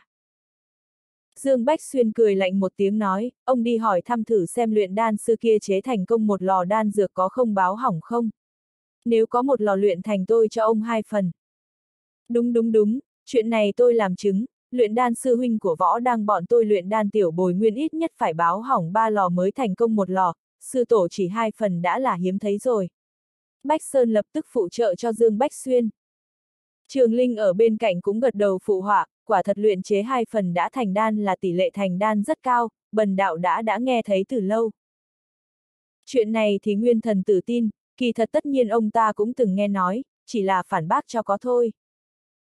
Nếu ông không muốn luyện thì thôi, đưa danh sách đây, ông tưởng luyện đan dễ như vậy hả, luyện đan một lần tôi phải nghỉ ngơi nửa tháng đó biết chưa? Dương Bách Xuyên thờ ơ nói, bộ dạng tôi chịu thiệt rất nhiều. Đừng đừng đừng, tôi luyện tôi luyện, lúc này nguyên thần tử đã xem xong linh dược được ghi trên danh sách. Tuy rằng tìm hai phần hơi nhiều, còn phải cộng thêm 5 viên tinh thạch tiên thiên để trả thù lao cho Dương Bách Xuyên, nhưng sau khi ông ta tính toán trong lòng thì vẫn chiếm lợi. Quan trọng hơn là có thể có được 6 viên đan bồi nguyên trong một lần, đây chính là chuyện tốt với Thanh Thành. Mỗi võ cổ giả cấp bậc tiên thiên muốn tăng lên một chút đều muôn vàn khó khăn, nếu có đan bồi nguyên, cho dù chỉ là tăng lên một chút cũng là bước tiến lớn với cường giả tiên thiên. Những tông môn khác có đan dược thì chắc chắn thực lực đã tăng lên rất nhiều, không thể chỉ bỏ lại thanh thành ở phía sau đúng không? Audio điện tử võ tấn bền. Hết tập 23